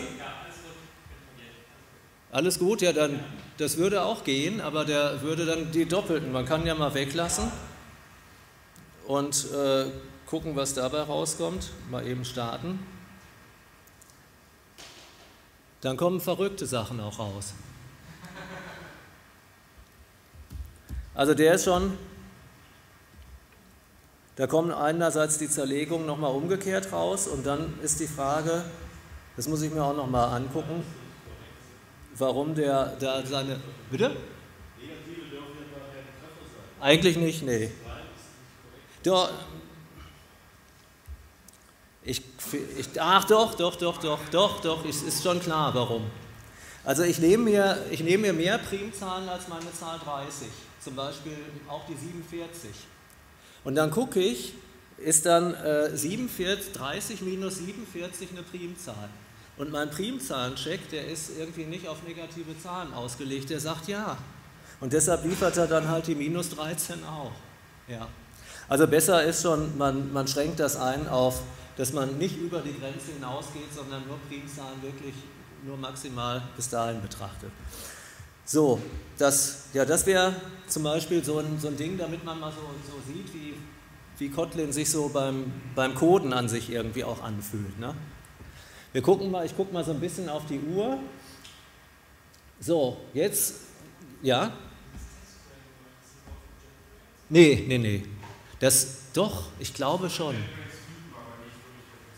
Nee, stimmt. Es gibt zwei Test-Frameworks von JetBrains, richtig. Und eins davon ist das, aber das ist jetzt nichts irgendwie, was die unbedingt jetzt so bewerben, dass das so super toll ist. Ich glaube, das ist auch mal so zu Demo-Zwecken entstanden. Ja, ja, genau, richtig. Gibt es aber auch auf GitHub, kann man sich das mal angucken, genau. Jetzt kommt noch, mal, noch ein Rätsel. Ähm, das, ist, das ist jetzt wirklich knifflig. Da muss man genau hingucken. Ähm, wir haben hier eine, eine, Extension Function, die auch say something sagt. Die printet this Softworks-Kammer und ich rufe die auf mit enjoy say something. Ja?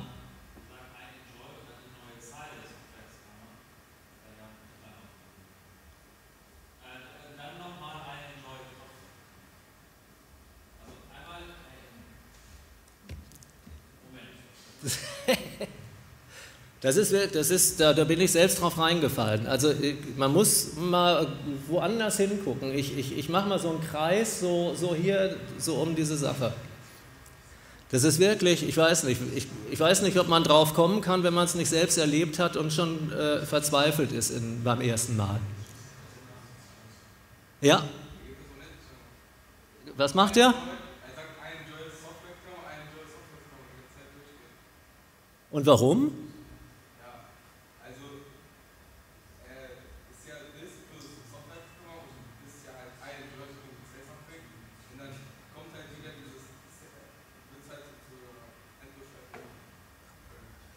Nee, ist noch nicht.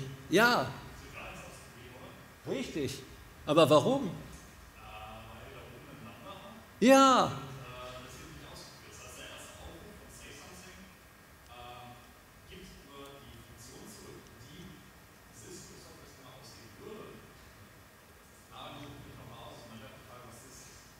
Genau das ist es.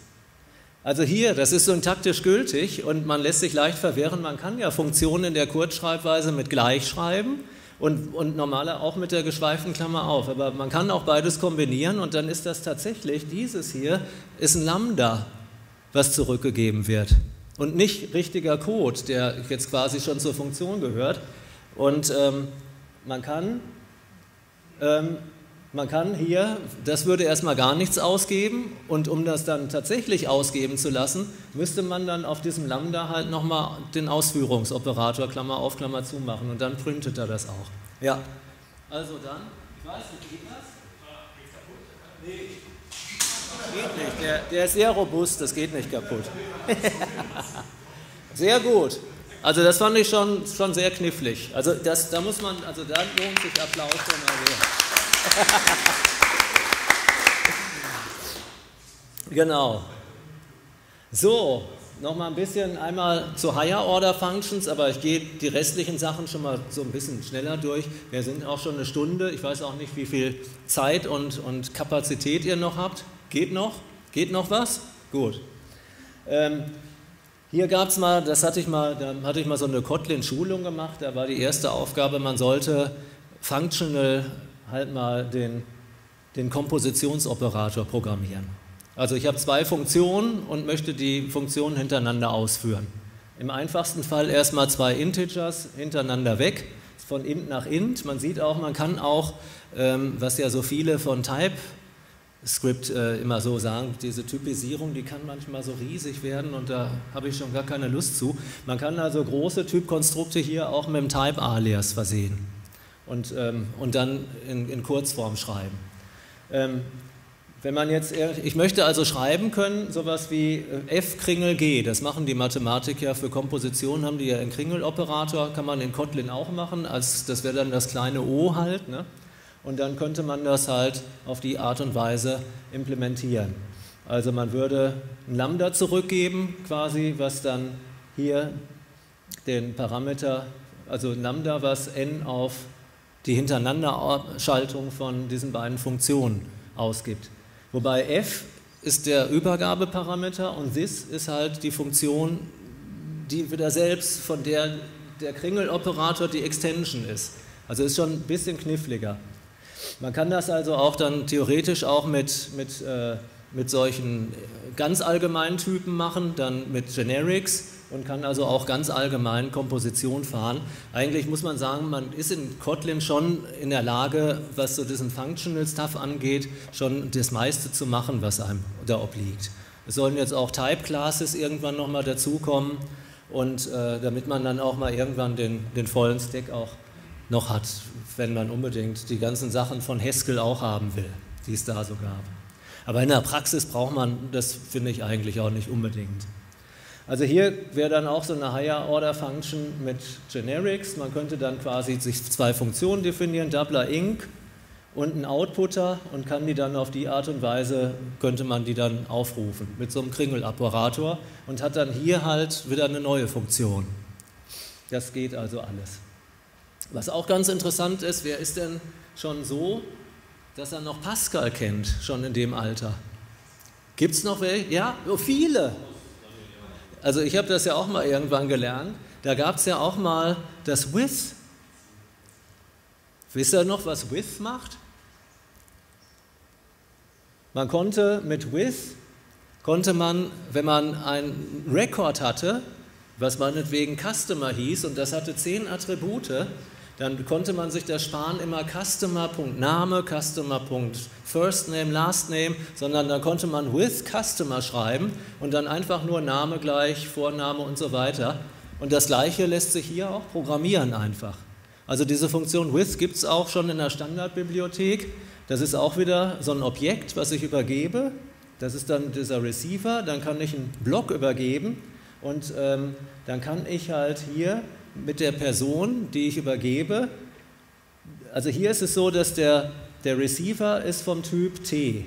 Und dieser, das Lambda, was ich quasi hier übergebe, ist eine Extension Function auf dem T, was dazu führt, dass ich hier auf, die, auf das Person, das, das this, diese Person referenziert und dann kann ich halt hier in meinem Lambda this.lastname schreiben und weil man üblicherweise auch this-Punkt immer weglassen kann, kann man dann halt auch einfach hier last name schreiben.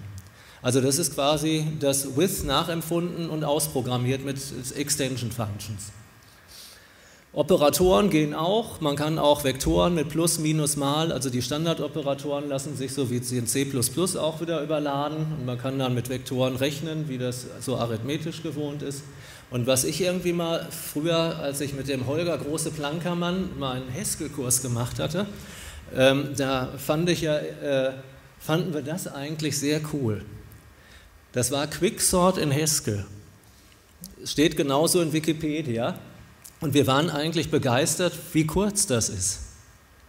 Also da, das ist jetzt Haskell-Code, das muss man dann auch erstmal sich ein bisschen einfinden, aber im Prinzip kann man da auch sehen, also eine, eine leere Liste wird leer gelassen und, und alles, was nicht leer ist, da gibt es dann halt ein Element und den Rest der Liste und dann wird es rekursiv aufgerufen und dann filtert man nach kleiner und größer. Also das ist so ein, so ein typisches Haskell-Ding. Und äh, wir hatten damals eigentlich auch gedacht, kürzer geht's nicht, aber ich habe das jetzt auch mal in, in Kotlin nachgeschrieben und da ist es auch nicht viel kürzer, äh, länger. Das geht also genauso. Man kann also hier auch, sagen wir mal sagen, ich nehme das erste Element und da gibt es eben diese Kotlin-Standardfunktion, die ich ganz cool finde. Man kann also von der Liste, also die List, das ist auch eine Extension Functions jetzt hier, Quicksort auf Listen, das sieht man ja hier, List ist der Typ, ein generischer Typ. Und dann kann ich hier ähm, quasi, ist das this, ist die Liste selbst, was ich dann wieder weglassen kann. Also hier könnte man auch this drop einschreiben oder this first. This first wäre dann das erste Listenelement, das nimmt man als Pivotelement. Dann droppt man das und dann kann ich den Rest partitionieren nach einer Bedingung i kleiner Pivot und kann das dann, kriegt ein Pärchen zurück und kann das quasi rekursiv aufrufen. Es ist eigentlich, finde ich, genauso lesbar und eigentlich auch genauso kurz.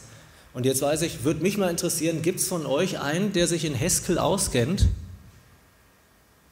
Weil ich habe bisher nicht rausgekriegt, auch bei dem Jens beim letzten Vortrag, äh, der, der konnte mir auch nicht sagen, ob Haskell diese rekursiven Ausführungen parallel macht automatisch.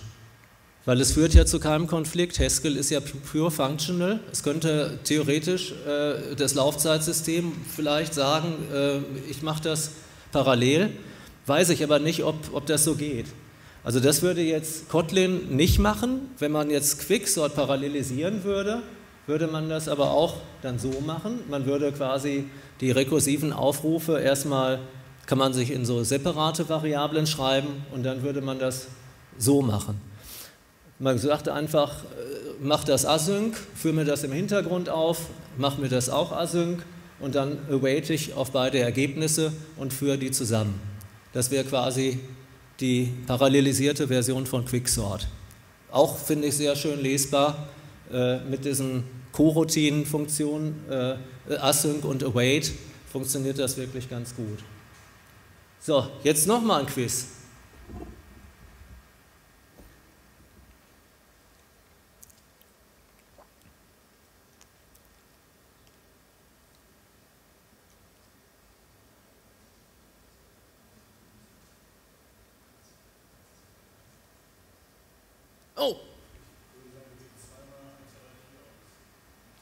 Zweimal 1, 2, 3, 4. 1, 2, 3 und 1, 2, 3, 4. Ist beides leider noch nicht richtig. ja? 1, 2, 3, 4 und 1, 2, 3. Und dann? 1, 2, 3. Nee.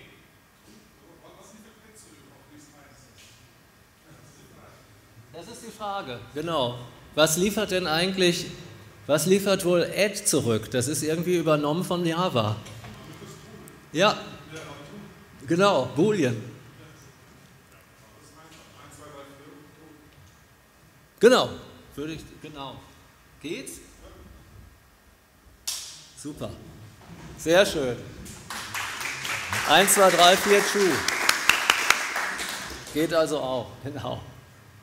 So, jetzt kommt zum Abschluss würde ich nochmal sagen, weil, weil da mich viele gebeten hatten bei dem Kurs, den ich mal gemacht hatte, äh, über, über Kotlin, ähm, was könnte jetzt kommen?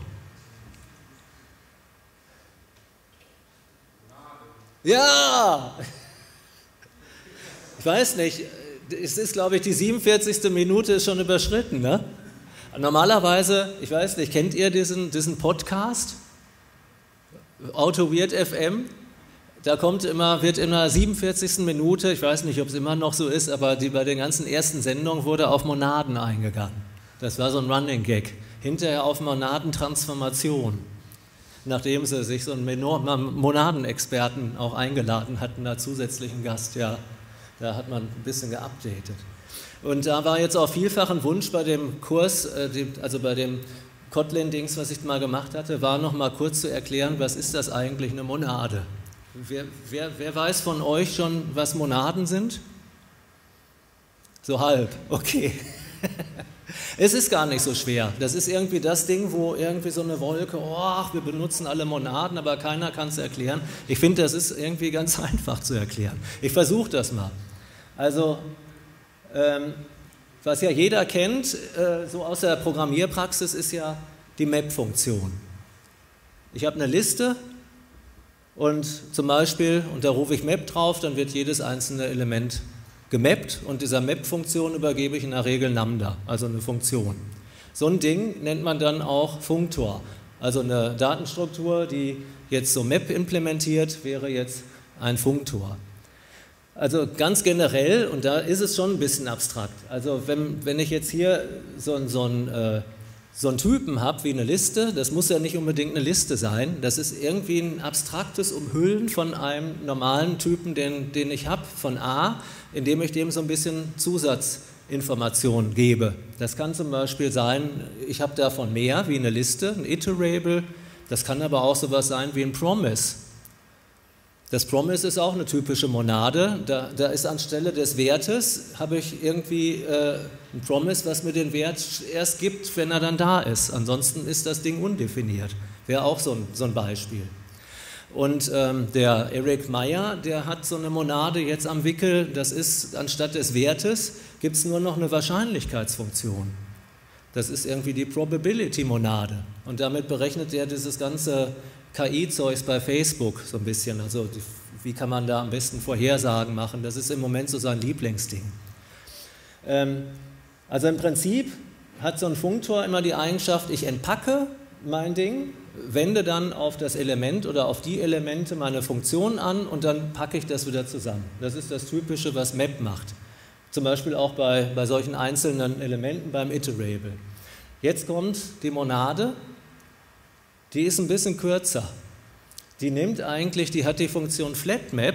Also man kann eigentlich sagen, eine Monade, kurz gesagt, ist eine Datenstruktur, die die Funktion FlatMap implementiert.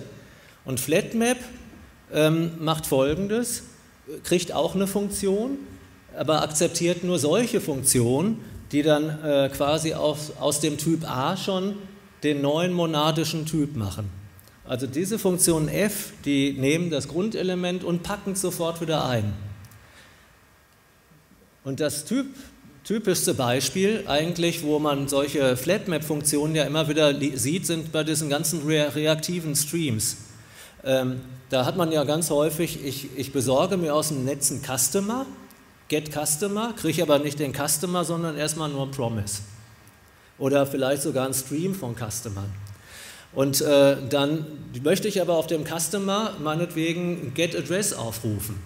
Dann, äh, dann übergebe ich mir dieses Get Address in Flatmap rein. Flatmap würde dann quasi den Customer so lange warten, bis der Customer da ist, dann darauf Get Address aufrufen und Get Address gibt mir natürlich wieder ein Promise von Address.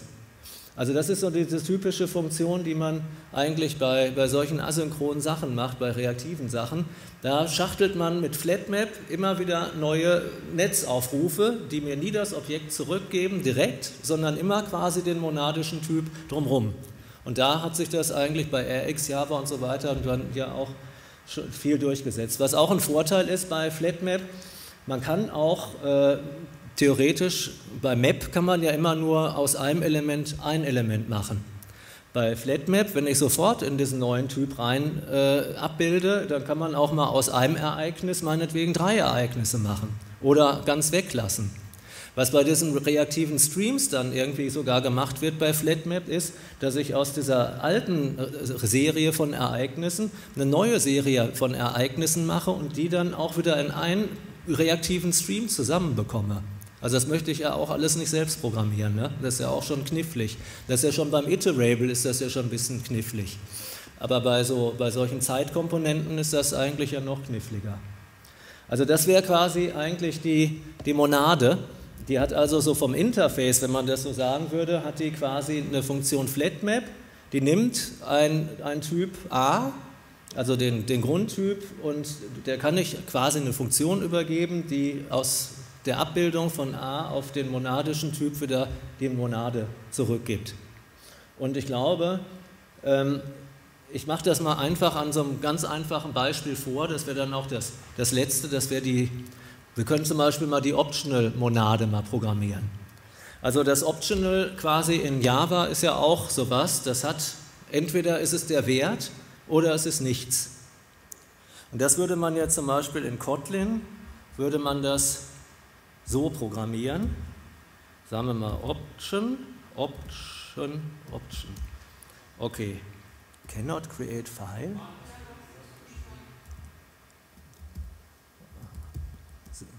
Was war das? Ach, das gibt's. Ach, ja. Das hatte ich vorhin schon mal, genau, dann braucht mich das Interface nicht nochmal abzutippen. Also da habe ich das Interface Monade schon mal. Ähm, und jetzt mache ich mal die, die Klasse Optional. Also die, die Option, wie gesagt, ist, soll ein, eine Klasse sein, die entweder was in sich trägt, ein Value oder Non. Non. Früher hat man dann in Java, würde man dann Null nehmen, um das abzubilden, oder seit Java, ich weiß nicht, wann es das echte Optional in Java gibt, Java 6 oder so, gibt's, oder, oder 7, äh, gibt es das ja. Und das würde ich mal so mal nachprogrammieren. Man würde das tatsächlich hier mit einer Sealed Class machen. Eine Sealed Class hat also in dem Fall zwei Ausprägungen. Eine Klasse, also die, die Sealed Class, ich nenne sie mal Option, die ist auch generisch und die hat meinetwegen, wir können ruhig mal eine Data Class nehmen. Ne? Klassischerweise nennt man die Klasse, die was darstellt, also einen echten Wert Sum. Die hätte also sowas, eine, eine Property vom Typ T, die ist also auch generisch. Ne? Und äh, die würde dann quasi eine Unterklasse von Option sein. Dieses Nicht-Element None, das braucht eigentlich, kann ein Objekt sein. Da braucht es nicht viele verschiedene Instanzen von zu geben. Das kann man einfach als Object schreiben, Object meinetwegen None und das ist dann Option von, das kann ich jetzt nicht ganz im Detail erklären, was Nothing ist quasi Any ist der Typ von allem, wie Object bei Java. Und dann gibt es in Kotlin gibt's noch ein, die, das, das Gegenteil, das heißt Nothing. Das ist quasi der Typ, der, der unterste Typ, von dem quasi, wo jeder Typ Obertyp von ist. Und der, der Typ Nothing an sich ist nichts, das, das kann noch nicht mal eine Instanz haben. Also Nothing, Fragezeichen, kann die Null noch haben. Weil das Nothing Nullable kann als Ausprägung noch Null haben. Nothing selbst ist nichts.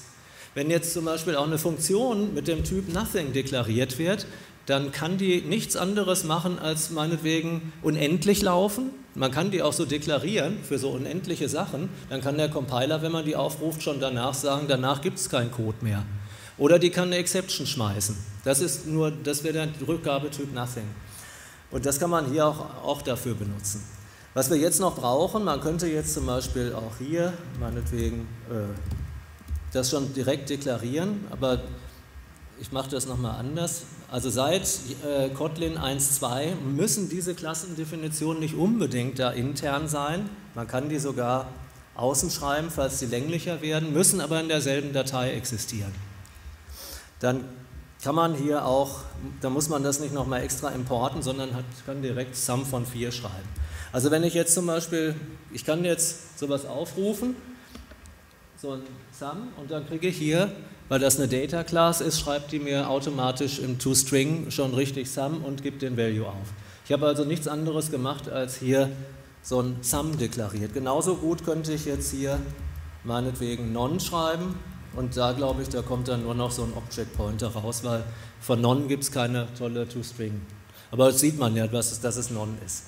Was ja jetzt fehlt, das wäre jetzt quasi ein Optional.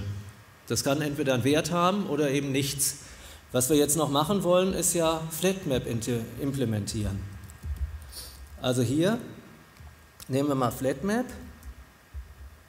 Da haben wir jetzt hier von A nach B, das habe ich jetzt hier mal T genannt, ne? müsste jetzt von T nach so gehen. Ähm, FlatMap würde ich auch sagen, die Klasse muss ja erstmal die Monade implementieren, ne? damit es so, da gibt es kein Out, dann machen wir das auch so. So, und dann sagt er mir hier, was sagt er mir hier? Override. Override ist in Kotlin auch keine Annotation, sondern ein richtiges Statement. So, wie müsste ich das jetzt machen? Ähm, die typische Implementierung von FlatMap von einer Option ist ja, also ich, ich, ich nehme quasi, entpack mein Objekt, führe da eine Funktion drauf auf und wenn das Objekt aber selbst schon none ist, dann kann ich keine Funktion drauf aufführen, dann bleibt das Ding none. Ja? Also würde ich jetzt irgendwie meinetwegen auch returnen, when, meinetwegen this, da kann man schreiben is none, dann soll das wieder none ergeben und ansonsten, und jetzt ist sum, dann soll es meinetwegen die Funktion aufrufen mit dem Wert, den es da gibt, value. Das ist es im Prinzip schon. Was hier schön ist auch, dieses when achtet auch darauf, dass jetzt hier none und sum, das sind beide Möglichkeiten der Sealed Class, also ist das when auch zufrieden. Wenn ich eins weglassen würde, würde das when ja hier schon wieder meckern und dann würde da stehen, hier, dass, äh, dass das nicht vollständig ist. Das ist, finde ich, ganz, ganz nett an der Sache. Nur mal das, jetzt könnte man das auch mal nochmal zur Ausführung bringen. Wir können ja mal einfach und zwei Funktionen mal definieren. Nehmen wir mal einmal so reine Double-Funktionen, vielleicht mal Rezi, Reziprokal. Nehmen wir das mal als Fun von meinetwegen Double. Und da kann man das meinetwegen direkt mal hinschreiben.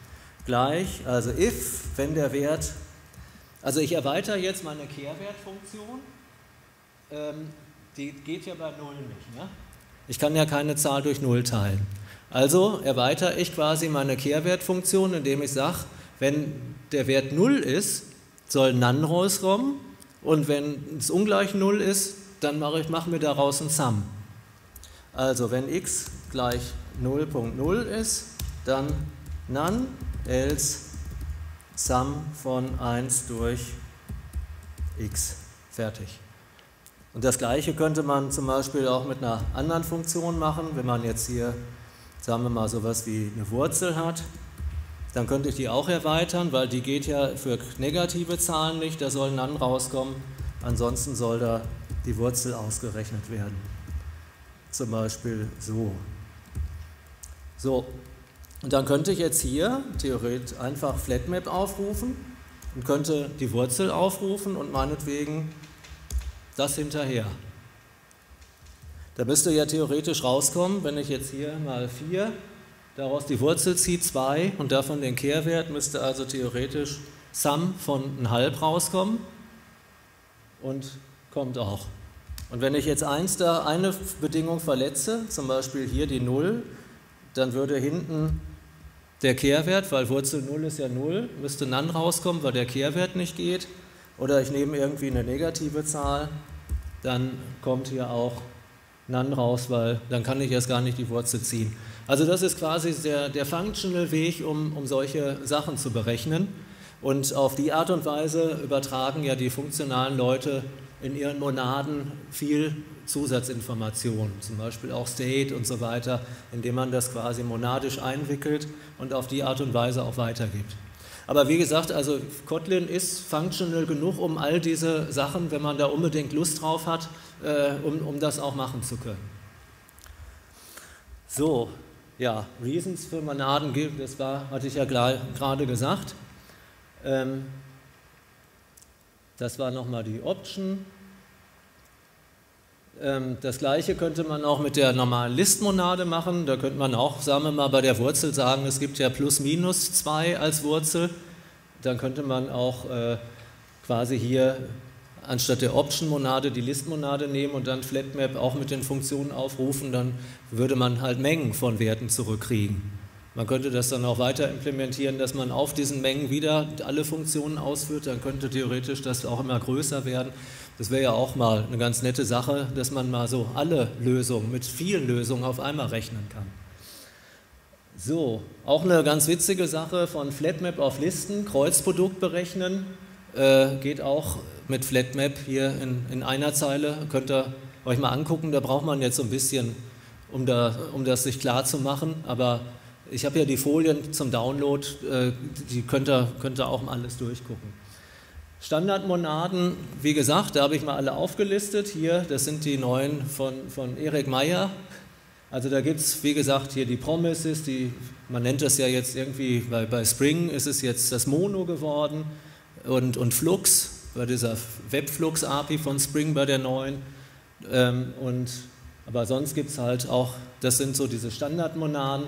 Es gibt, das fand ich in Kotlin ganz gut, es gab eigentlich immer zwei konkurrierende Open-Source-Projekte, wo all dieser Functional Stuff eigentlich implementiert ist. Das war Category und Functional oder wie man funkt, Funktionale.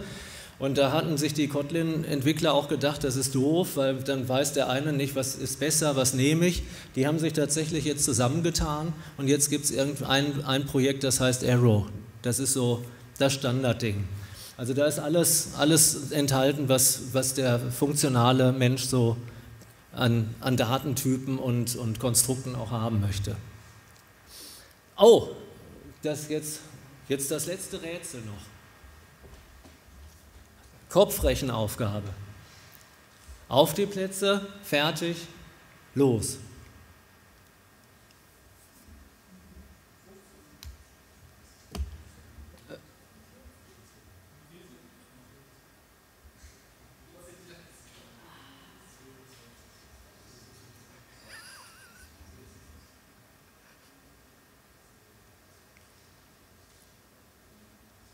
Wer bietet noch was anderes aus als 45? 15. 15 ist gut. 15? Warum 15? Wer hat zuerst 15 gesagt? Okay. Ja. Genau. Da fällt man natürlich leicht drauf rein. Dieses hier ist tatsächlich auch ein arithmetischer Ausdruck, den Kotlin einfach schluckt. Der gibt auch einen Wert zurück. Das ist eine, eine Anweisung, die geht. Aber weil das auf zwei Teilen verteilt ist, ist die erste Zeile endet hier hinten. Also wenn man möchte, dass man das auf zwei Zeilen verteilt mit Umbrüchen, dann muss man das Plus hier hinten hinschreiben. Weiß ich nicht. Muss ich nachgucken. Weiß ich nicht. Ich glaube nicht. Ich glaube nicht. Nee. Ja, habe ich ja hier. Das Plus, das Plus ist ja hier hochgezogen, genau.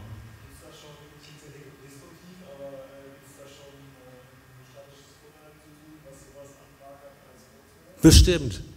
Aber ich, ich, ich kenne es jetzt irgendwie auch nicht, nein. Aber das. Ja, ja, die, die, die stolpern darüber. Genau, das könnte sein, ja. Deshalb eignet sich das auch ganz gut hier für so ein Kotlin-Puzzle. Ja. Ähm, jetzt nochmal nur zum Abschied, was man noch so in Kotlin machen könnte. Und da sind auch so, so schon eigentlich eigene Vorträge für dann notwendig. Man kann auch wie in Groovy eigene DSL schreiben. Ähm, und zwar gibt es sowas für JSON zum Beispiel. Das ist also alles, was man jetzt hier sieht, ist Kotlin-Code. Also wir haben ja eigentlich schon ein bisschen gesehen anhand dieser Funktionsaufrufe, wo man das Lambda am Ende hinmacht, was so aussieht wie ein Kommando, kann man natürlich hier auch noch viel so in der Art syntaktisch miteinander kombinieren. Also hier, das wäre dieses to, ist auch ein Operator, um daraus ein Pärchen zu machen. Das, den kann man halt so definieren und dann kann man halt hier auf die Art und Weise dann äh, syntax-checkmäßig JSONs generieren oder auch HTML. Und für jede von diesen Standardsachen gibt es auch schon eine Standard-Library quasi auf GitHub, die man benutzen kann, die sich da durchgesetzt hat. Für Vardin auch. Da gibt es, äh, um diese ganzen Controls zu machen, kann man die auch in, in geschachtelter Form darstellen. Das hatten wir ja gesehen, das ist ja von dem Kotlin Test Framework, das ist auch schon so eine Art DSL. Oder man kann auch so ganz verrückte Sachen machen, dass man, das ist also wie gesagt auch, auch Code hier. Man kann quasi, wenn man sowas modelliert grafisch, und deshalb habe ich auch die Würfel verteilt. Ich würde ja ganz gerne als erstes mal anfangen, äh, in meinem kleinen Projekt äh, eine DSL für den Würfel zu entwickeln und auch für die Züge, die man damit machen kann, dass das möglichst lesbar und übersichtlich ist. Wäre zum Beispiel eine erste Herausforderung. Ähm, für eine DSL, die, die wir mal da in diesem in der kleinen Projekt gemacht hatten, war sowas wie Given Then When. Auch das ist Kotlin-Code. Man kann also Methoden schreiben, Namen, auch, äh, da kann man auch Smileys reinmachen, man kann der äh, beliebigen Text reinschreiben, solange man den hier mit diesem Backtick schreibt. Und man kann auch hier auch das Mittenparameter, das wäre quasi ein Methodenaufruf, dieses Ding, was jetzt nichts hat, ist zum Beispiel eine Property. Man kann dann hier mit, mit solchen Dingen tatsächlich die DSLs in der Art und Weise formulieren, dass die lesbar sind. Ja?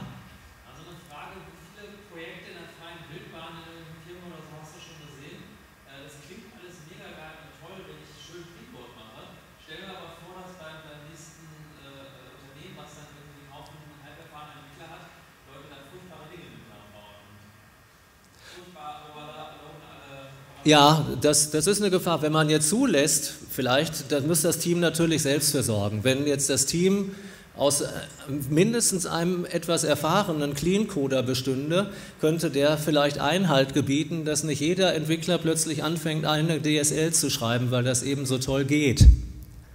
Also da muss man erstmal äh, schon einen Grund haben. Also ich würde DSLs nehmen, die es standardmäßig gibt, um sich dann vielleicht die Arbeit zu ersparen und das einfach schöner aussehen zu lassen, aber auch standardisierte. Also da würde ich auch äh, zusehen, auch was genauso für Extension Functions. Also da muss man wirklich ein bisschen drauf achten. Man hat jetzt hier viele Möglichkeiten. Ne? Das ist das vielleicht auch das Problem. Ähm, so, da war ich. So, das, das war noch das am Schluss, das wäre noch diese DSL und dann gab es noch ganz am Ende, wollte ich noch mal ganz kurz sagen, was es zum Beispiel, da gibt es ja noch die Co-Routinen, das hatte ich ja schon angedeutet, das, äh, das ist im Prinzip das Gleiche. Ähm, um, um einfach Asynchronität zu formulieren, gibt es dieses neue Konzept der Co-Routinen, das ist allerdings nicht neu vom Kotlin, sondern ähm, das gibt es in der Sprache jetzt ab der Version 1.3 auch etabliert und nicht als experimental. Das war bisher experimental und ähm, ist jetzt richtig. Da bietet Kotlin übrigens auch ein ganz schönes Feature an. Man hat ja jetzt natürlich überall die ganzen, Entschuldigung, Package-Namen mit experimental geschrieben. Wenn in der Sprache Kotlin neue Features rauskommen und man stellt um auf die neue Version 1.3 meinetwegen, dann bietet die IDE an, alles umzubauen, falls es da Neuerungen gibt. Da würde es die ganzen Package-Namen umsetzen und eben bei neuen Sprachfeatures das vielleicht auch angleichen. Das ist eigentlich auch, auch ganz nett. So, ja, das also hier sieht man, man kann auch mit diesen Co-Routinen so Producer-Consumer-Sachen machen oder auch selbst Aktoren programmieren. Man braucht eigentlich kein eigenes Actor-Framework, das kriegt man eigentlich mit endlich vielen Kotlin-Zeilen auch ganz gut selber hin. Und ähm, wie gesagt, das sind so, so ein paar Idiome im Vergleich nochmal. Also anstatt der Getter und Setter in Java benutzen wir Properties hauptsächlich. Aus Singletons werden Objects. Aus diesem Java Optional das braucht man in Wirklichkeit nicht, macht man halt Nullable Types, diese Static Utility Class, diese ganzen sowieso Util, String Util, Math Util, das könnten dann auch Extension Functions werden und ähm, Value Objekte der Data Classes. Was war das? Ist da eine Lampe explodiert? Also ich war es nicht. Okay, gut. Ich mache jetzt auch mal wirklich Schluss. Ähm, ganz kurz, Literaturangabe, Kotlin in Action von der Svetlana. Finde ich, ist ein tolles Buch für, für einen Anfang. Ähm, das hatte ich schon gesagt. Auf Coursera startet der Kurs. Der kostet, ist umsonst, wenn man kein Zertifikat haben will. Ähm, wenn man hinterher so ein Zertifikat haben möchte, kostet er, glaube ich, so 40, 44 Dollar rum. Es geht, kann man auch noch irgendwie ganz gut ausgeben. Hier gibt es äh, online Kotlin Spielwiesen Übrigens, die, ganz, die Google Cloud habe ich gesehen, äh, da kann man auch jetzt direkt drin Kotlin programmieren. Völlig irrsinnig. Also die haben da auch eine ganze Menge gemacht jetzt. Äh, die wollen jetzt mit AWS, ne? also hatten, war auch auf der Kotlin-Konferenz, haben die ein paar Sachen vorgeführt. Hier noch ein paar Weblinks, das ist jetzt hier meine auf GitHub, also diese Codeschnipselchen und die Präsentation an sich kann man hier runterladen. Und ähm, wer hier auch mal an dem Weiterentwicklungsprozess interessiert ist, da gibt es irgendwie, der heißt hier Keep bei Kotlin, da werden auch die ganzen neuen Vorschläge beleuchtet und vorgesehen. Hier gibt es noch so ein paar Einsteigervideos zu den verschiedenen Themen, die auch ganz amüsant sind. Auch hier der Hardy, der ist immer ganz lustig, das lohnt sich mal, sich das anzugucken. Ja, das war's. Bedanke mich für eure lange Geduld. Ich hoffe,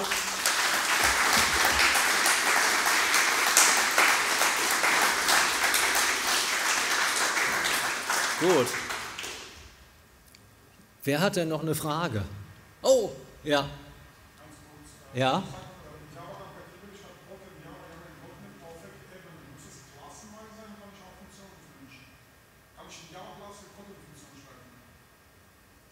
In einer Java-Klasse eine Kotlin-Funktion? Nee.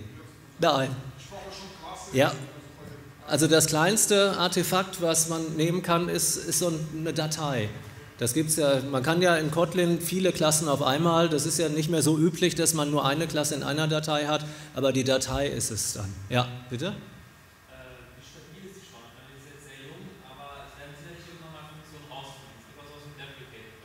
Ja. Und das funktioniert dann wie Java, das wird man als Replicate markiert und aber später fliegt sie raus. Selber kann man da nichts machen. Da gibt es schon die Versprechen, wie lange irgendwie gewisse dann. Richtig, genau. Wie gesagt, also das, das sieht man in diesem Keep auch. Oder man kann das auch auf den JetBrains-Sachen, was Kotlin angeht, sehr viel nachlesen. Die haben da eigentlich äh, viel drüber geschrieben. Es ist jetzt in der Diskussion, weil es wurde jetzt auch auf der Konferenz diskutiert, was ist das Feature, was es am komischsten ist. Und da kam jetzt irgendwie auch immer wieder mal dieses Companion Object. Und da kann ich mir vorstellen, dass das irgendwie vielleicht mal ersetzt wird. Aber ich, ich glaube, das wird angedeutet. Im Moment kommen eher Sachen dazu. Jetzt in, in Zug, ja?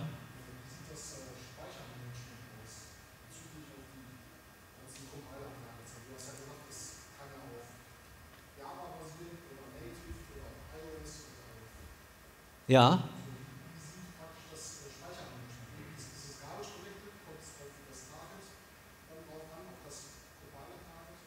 Das ist eine gute Frage. Also ich weiß jetzt nur, wenn das in die JVM reinkompiliert wird, ist es irgendwie sehr Java-nah. Angeblich wird der Code auch kürzer als, als entsprechender Java-Code und schneller, weil man auch, äh, man hat jetzt gerade für, die, die Sprache ist ja letztendlich auch für Android-Entwickler mitgemacht worden. Und äh, die Android-Entwickler haben ja immer die, die, äh, das Problem, dass die noch auf Java 1.6 oft programmieren müssen oder für Java 1.6 und haben die ganzen tollen neuen Features nicht. Und deshalb hatten die jetzt irgendwie mit Kotlin auch diese neuen Sachen. Aber da muss man eben auch auf Performance achten. Und da gibt es dann auch solche Sachen wie Inline. Man kann also, weil die Lambdas an sich ja auch immer viel kosten, das sind, ist auch in, in Kotlin noch immer so eine anonyme Funktion, die unten drunter kreiert wird. Und das kostet immer und kostet. Und da gibt es auch solche speziellen äh, Compiler, also Sprachfeatures, um das nochmal schneller zu machen. Aber wie das jetzt, wie das Speichermanagement dann genau aussieht in diesem Kotlin Native, das ist auch noch so jung, das ist schon echt eine Spezialfrage. Da, ich glaube, das wissen nur die Kotlin Native Leute. Ich glaube, das weiß auch nicht jeder von JetBrains, der da mit Kotlin arbeitet.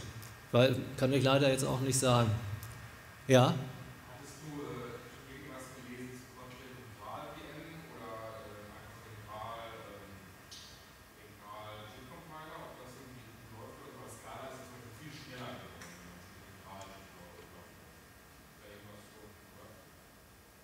Also der Kotlin Compiler an sich ist ja schon nicht so schlecht. Ähm, ich weiß, nochmal die Frage.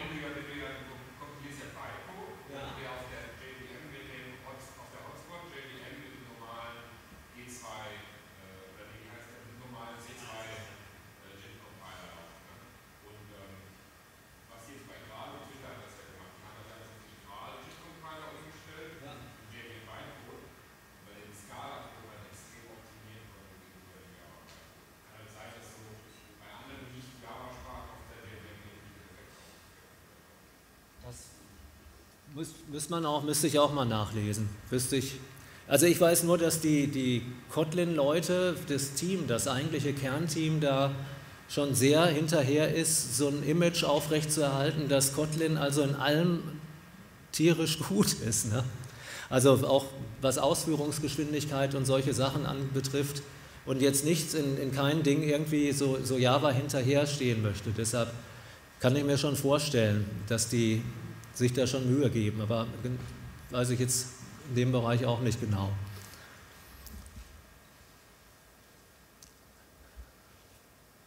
eine Abschlussfrage, würde es denn, für wen würde es denn Sinn machen, oder welche Gründe gibt es bei Java zu bleiben und welche Gründe gibt es einfach mal auf Kotlin umzusteigen? Das ist eigentlich ja auch so eine, so eine Fragestellung, die man eigentlich, die, die fragt ja dann vielleicht auch so ein Entwicklungsleiter dann mal irgendwann. Würde, würdet ihr euch trauen, einfach mal Kotlin auszuprobieren im Projekt? Ja.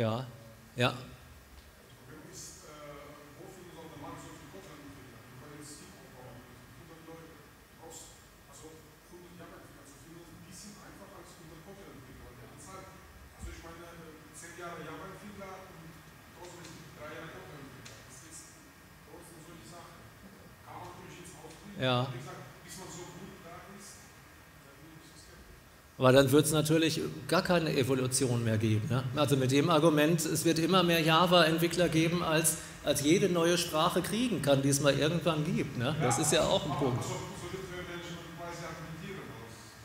Ja, das stimmt. Ja.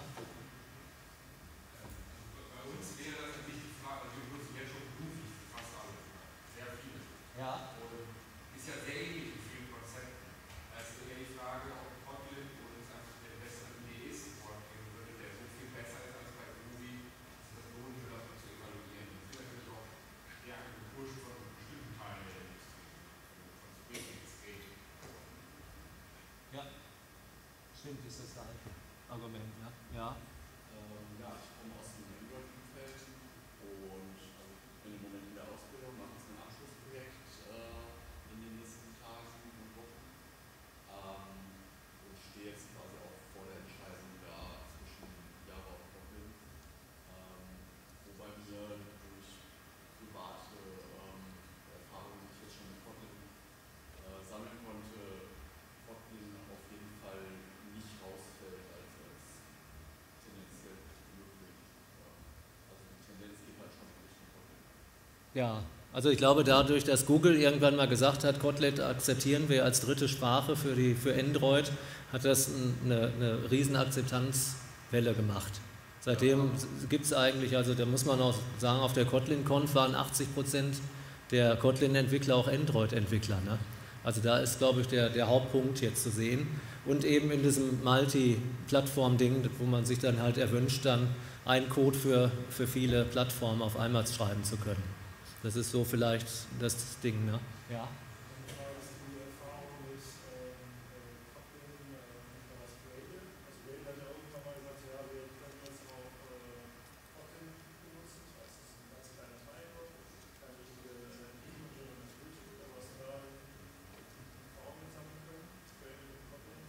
Also ich habe, es gibt ja, ja, aber ich glaube, das wird sich nicht durchsetzen. Ich glaube, Gradle hat einfach den, den Fuß drin.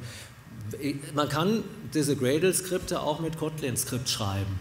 Aber da kommt auch wieder die Frage, warum sollte man das jetzt unbedingt? Weil Gradle gibt es jetzt schon, schon eine Zeit. Also ich finde immer noch nicht, dass es so super stabil wie Maven läuft. Ich muss immer so ein bisschen rumfrickeln bei, bei Gradle. Aber äh, wenn, man, wenn jetzt noch so ein neues Ding dazukommt, ich weiß es nicht, dann, dann hätte ich, ich, ich wüsste jetzt nicht unbedingt einen Grund. Aber theoretisch geht es auch. Ja, ja, das stimmt. Was ich mal persönlich auch noch ausprobiert habe, nur so als Sache, man, man kann Kotlin sehr gut mit diesem ganzen, äh, mit, dem, mit Spring verheiraten. Ich habe hier auch mal, vielleicht noch mal so einmal zum Zeigen, äh, so eine Applikation, da ist jetzt ähm, Spring Boot drin und da ist äh, Vardin mit drin und da ist äh, Spring Webflux mit drin. Und da habe ich mal so ein, so ein kleines äh, Schachspiel programmiert. Und das ist dann tatsächlich auch webreaktiv. Ich weiß nicht, sieht man das? Also das wäre jetzt der eine Browser. Und man kann jetzt hier zum Beispiel noch einen zweiten, einen anderen Browser öffnen. Nehmen wir mal den Chrome. Kann da jetzt meinetwegen auch localhost 8080 Chess aufrufen. Und äh, das ist tatsächlich jetzt mit, mit dieser neuen Spring-Sache gemacht. Wenn ich jetzt hier im Web und Vardin, also Vardin steht ja immer, man könnte dann nur Formulare mitmachen, das ist auch Quatsch. Also ich finde Vardin gar nicht so schlecht. Ich kann jetzt hier einen Bauern nehmen und den ziehen und im gleichen Moment ist der auf dem anderen Browser schon gezogen. Also das, das geht irgendwie. Und das sind eigentlich hier, um das in Kotlin zu schreiben, das waren wirklich nur, nur vier Klassen. Das geht out of the box eigentlich ganz gut, muss man sagen. Ja, das war, ja.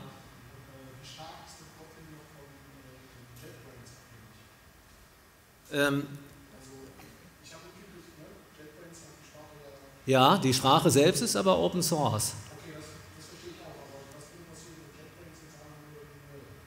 Das JetBrains wird niemals sagen, nö. Ja, ich glaube schon, ja. Ja.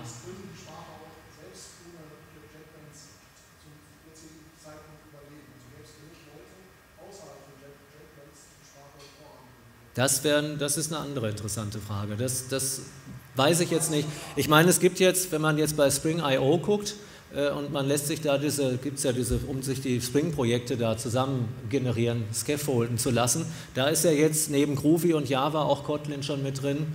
Äh, wie gesagt, in der Google Cloud ist, ist Kotlin mit drin. Jetzt bei, bei, also da gibt es jetzt irgendwie auch schon JetBrain-übergreifende Sachen. Aber das weiß ich jetzt klar, wenn, wenn dieser Hauptpusher wegfallen würde, dann weiß ich nicht genau. Dafür gibt es ja auch viel zu viele Konkurrenten, die dann konkurrenzmäßig pushen. Da gibt es ja Rust, da gibt es Swift und, und Julia vielleicht noch und die hat sich nicht ganz so, aber Rust und Swift sind ja die stärksten Konkurrenten. Ne? Und bitte? Go ja, auch noch, genau. Also wie gesagt, wenn man sich mal Swift anguckt, das ist im Prinzip sehr ähnlich zu Kotlin. Und äh, in der Apple-Welt, da hat man bisher immer leidvoll mit Objective-C programmieren müssen. Und deshalb hat da Swift natürlich jetzt einen viel höheren Schub bekommen, weil die sich natürlich mal freuen über, über endlich mal eine, eine, eine schöne Sprache. Deshalb ist da der, der, der Anstieg, was die User angeht und der, diese Umschwenkbereitschaft auch viel größer als jetzt im Java-Umfeld schon. Ne? Das stimmt. Ja?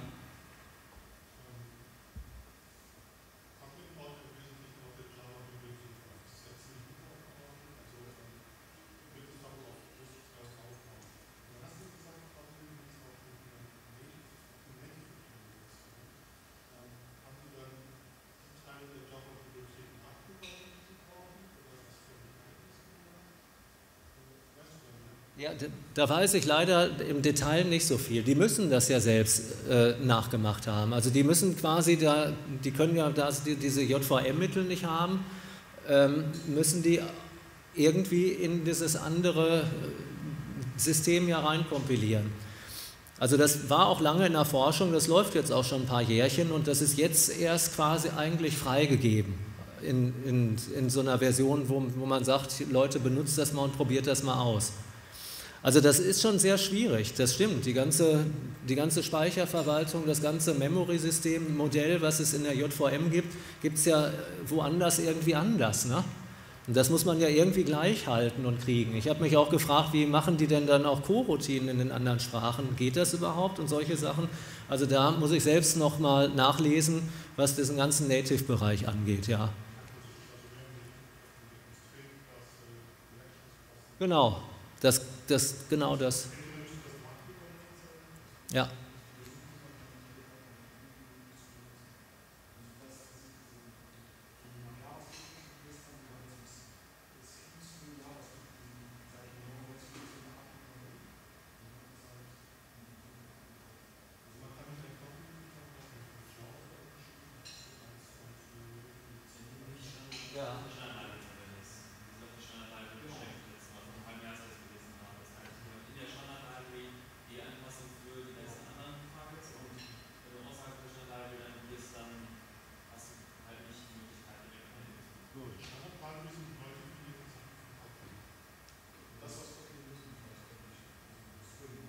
Aber ich glaube, das soll man einfach sagen, wir, wir hören mal auf mit dem Mal und dann können wir den Rest quasi in kleinen Schritten noch detailliert besprechen. Was, dann würde ich sagen, dann schließen wir jetzt mal endgültig. Ne? Okay.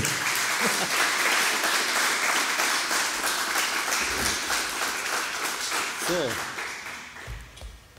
Gut.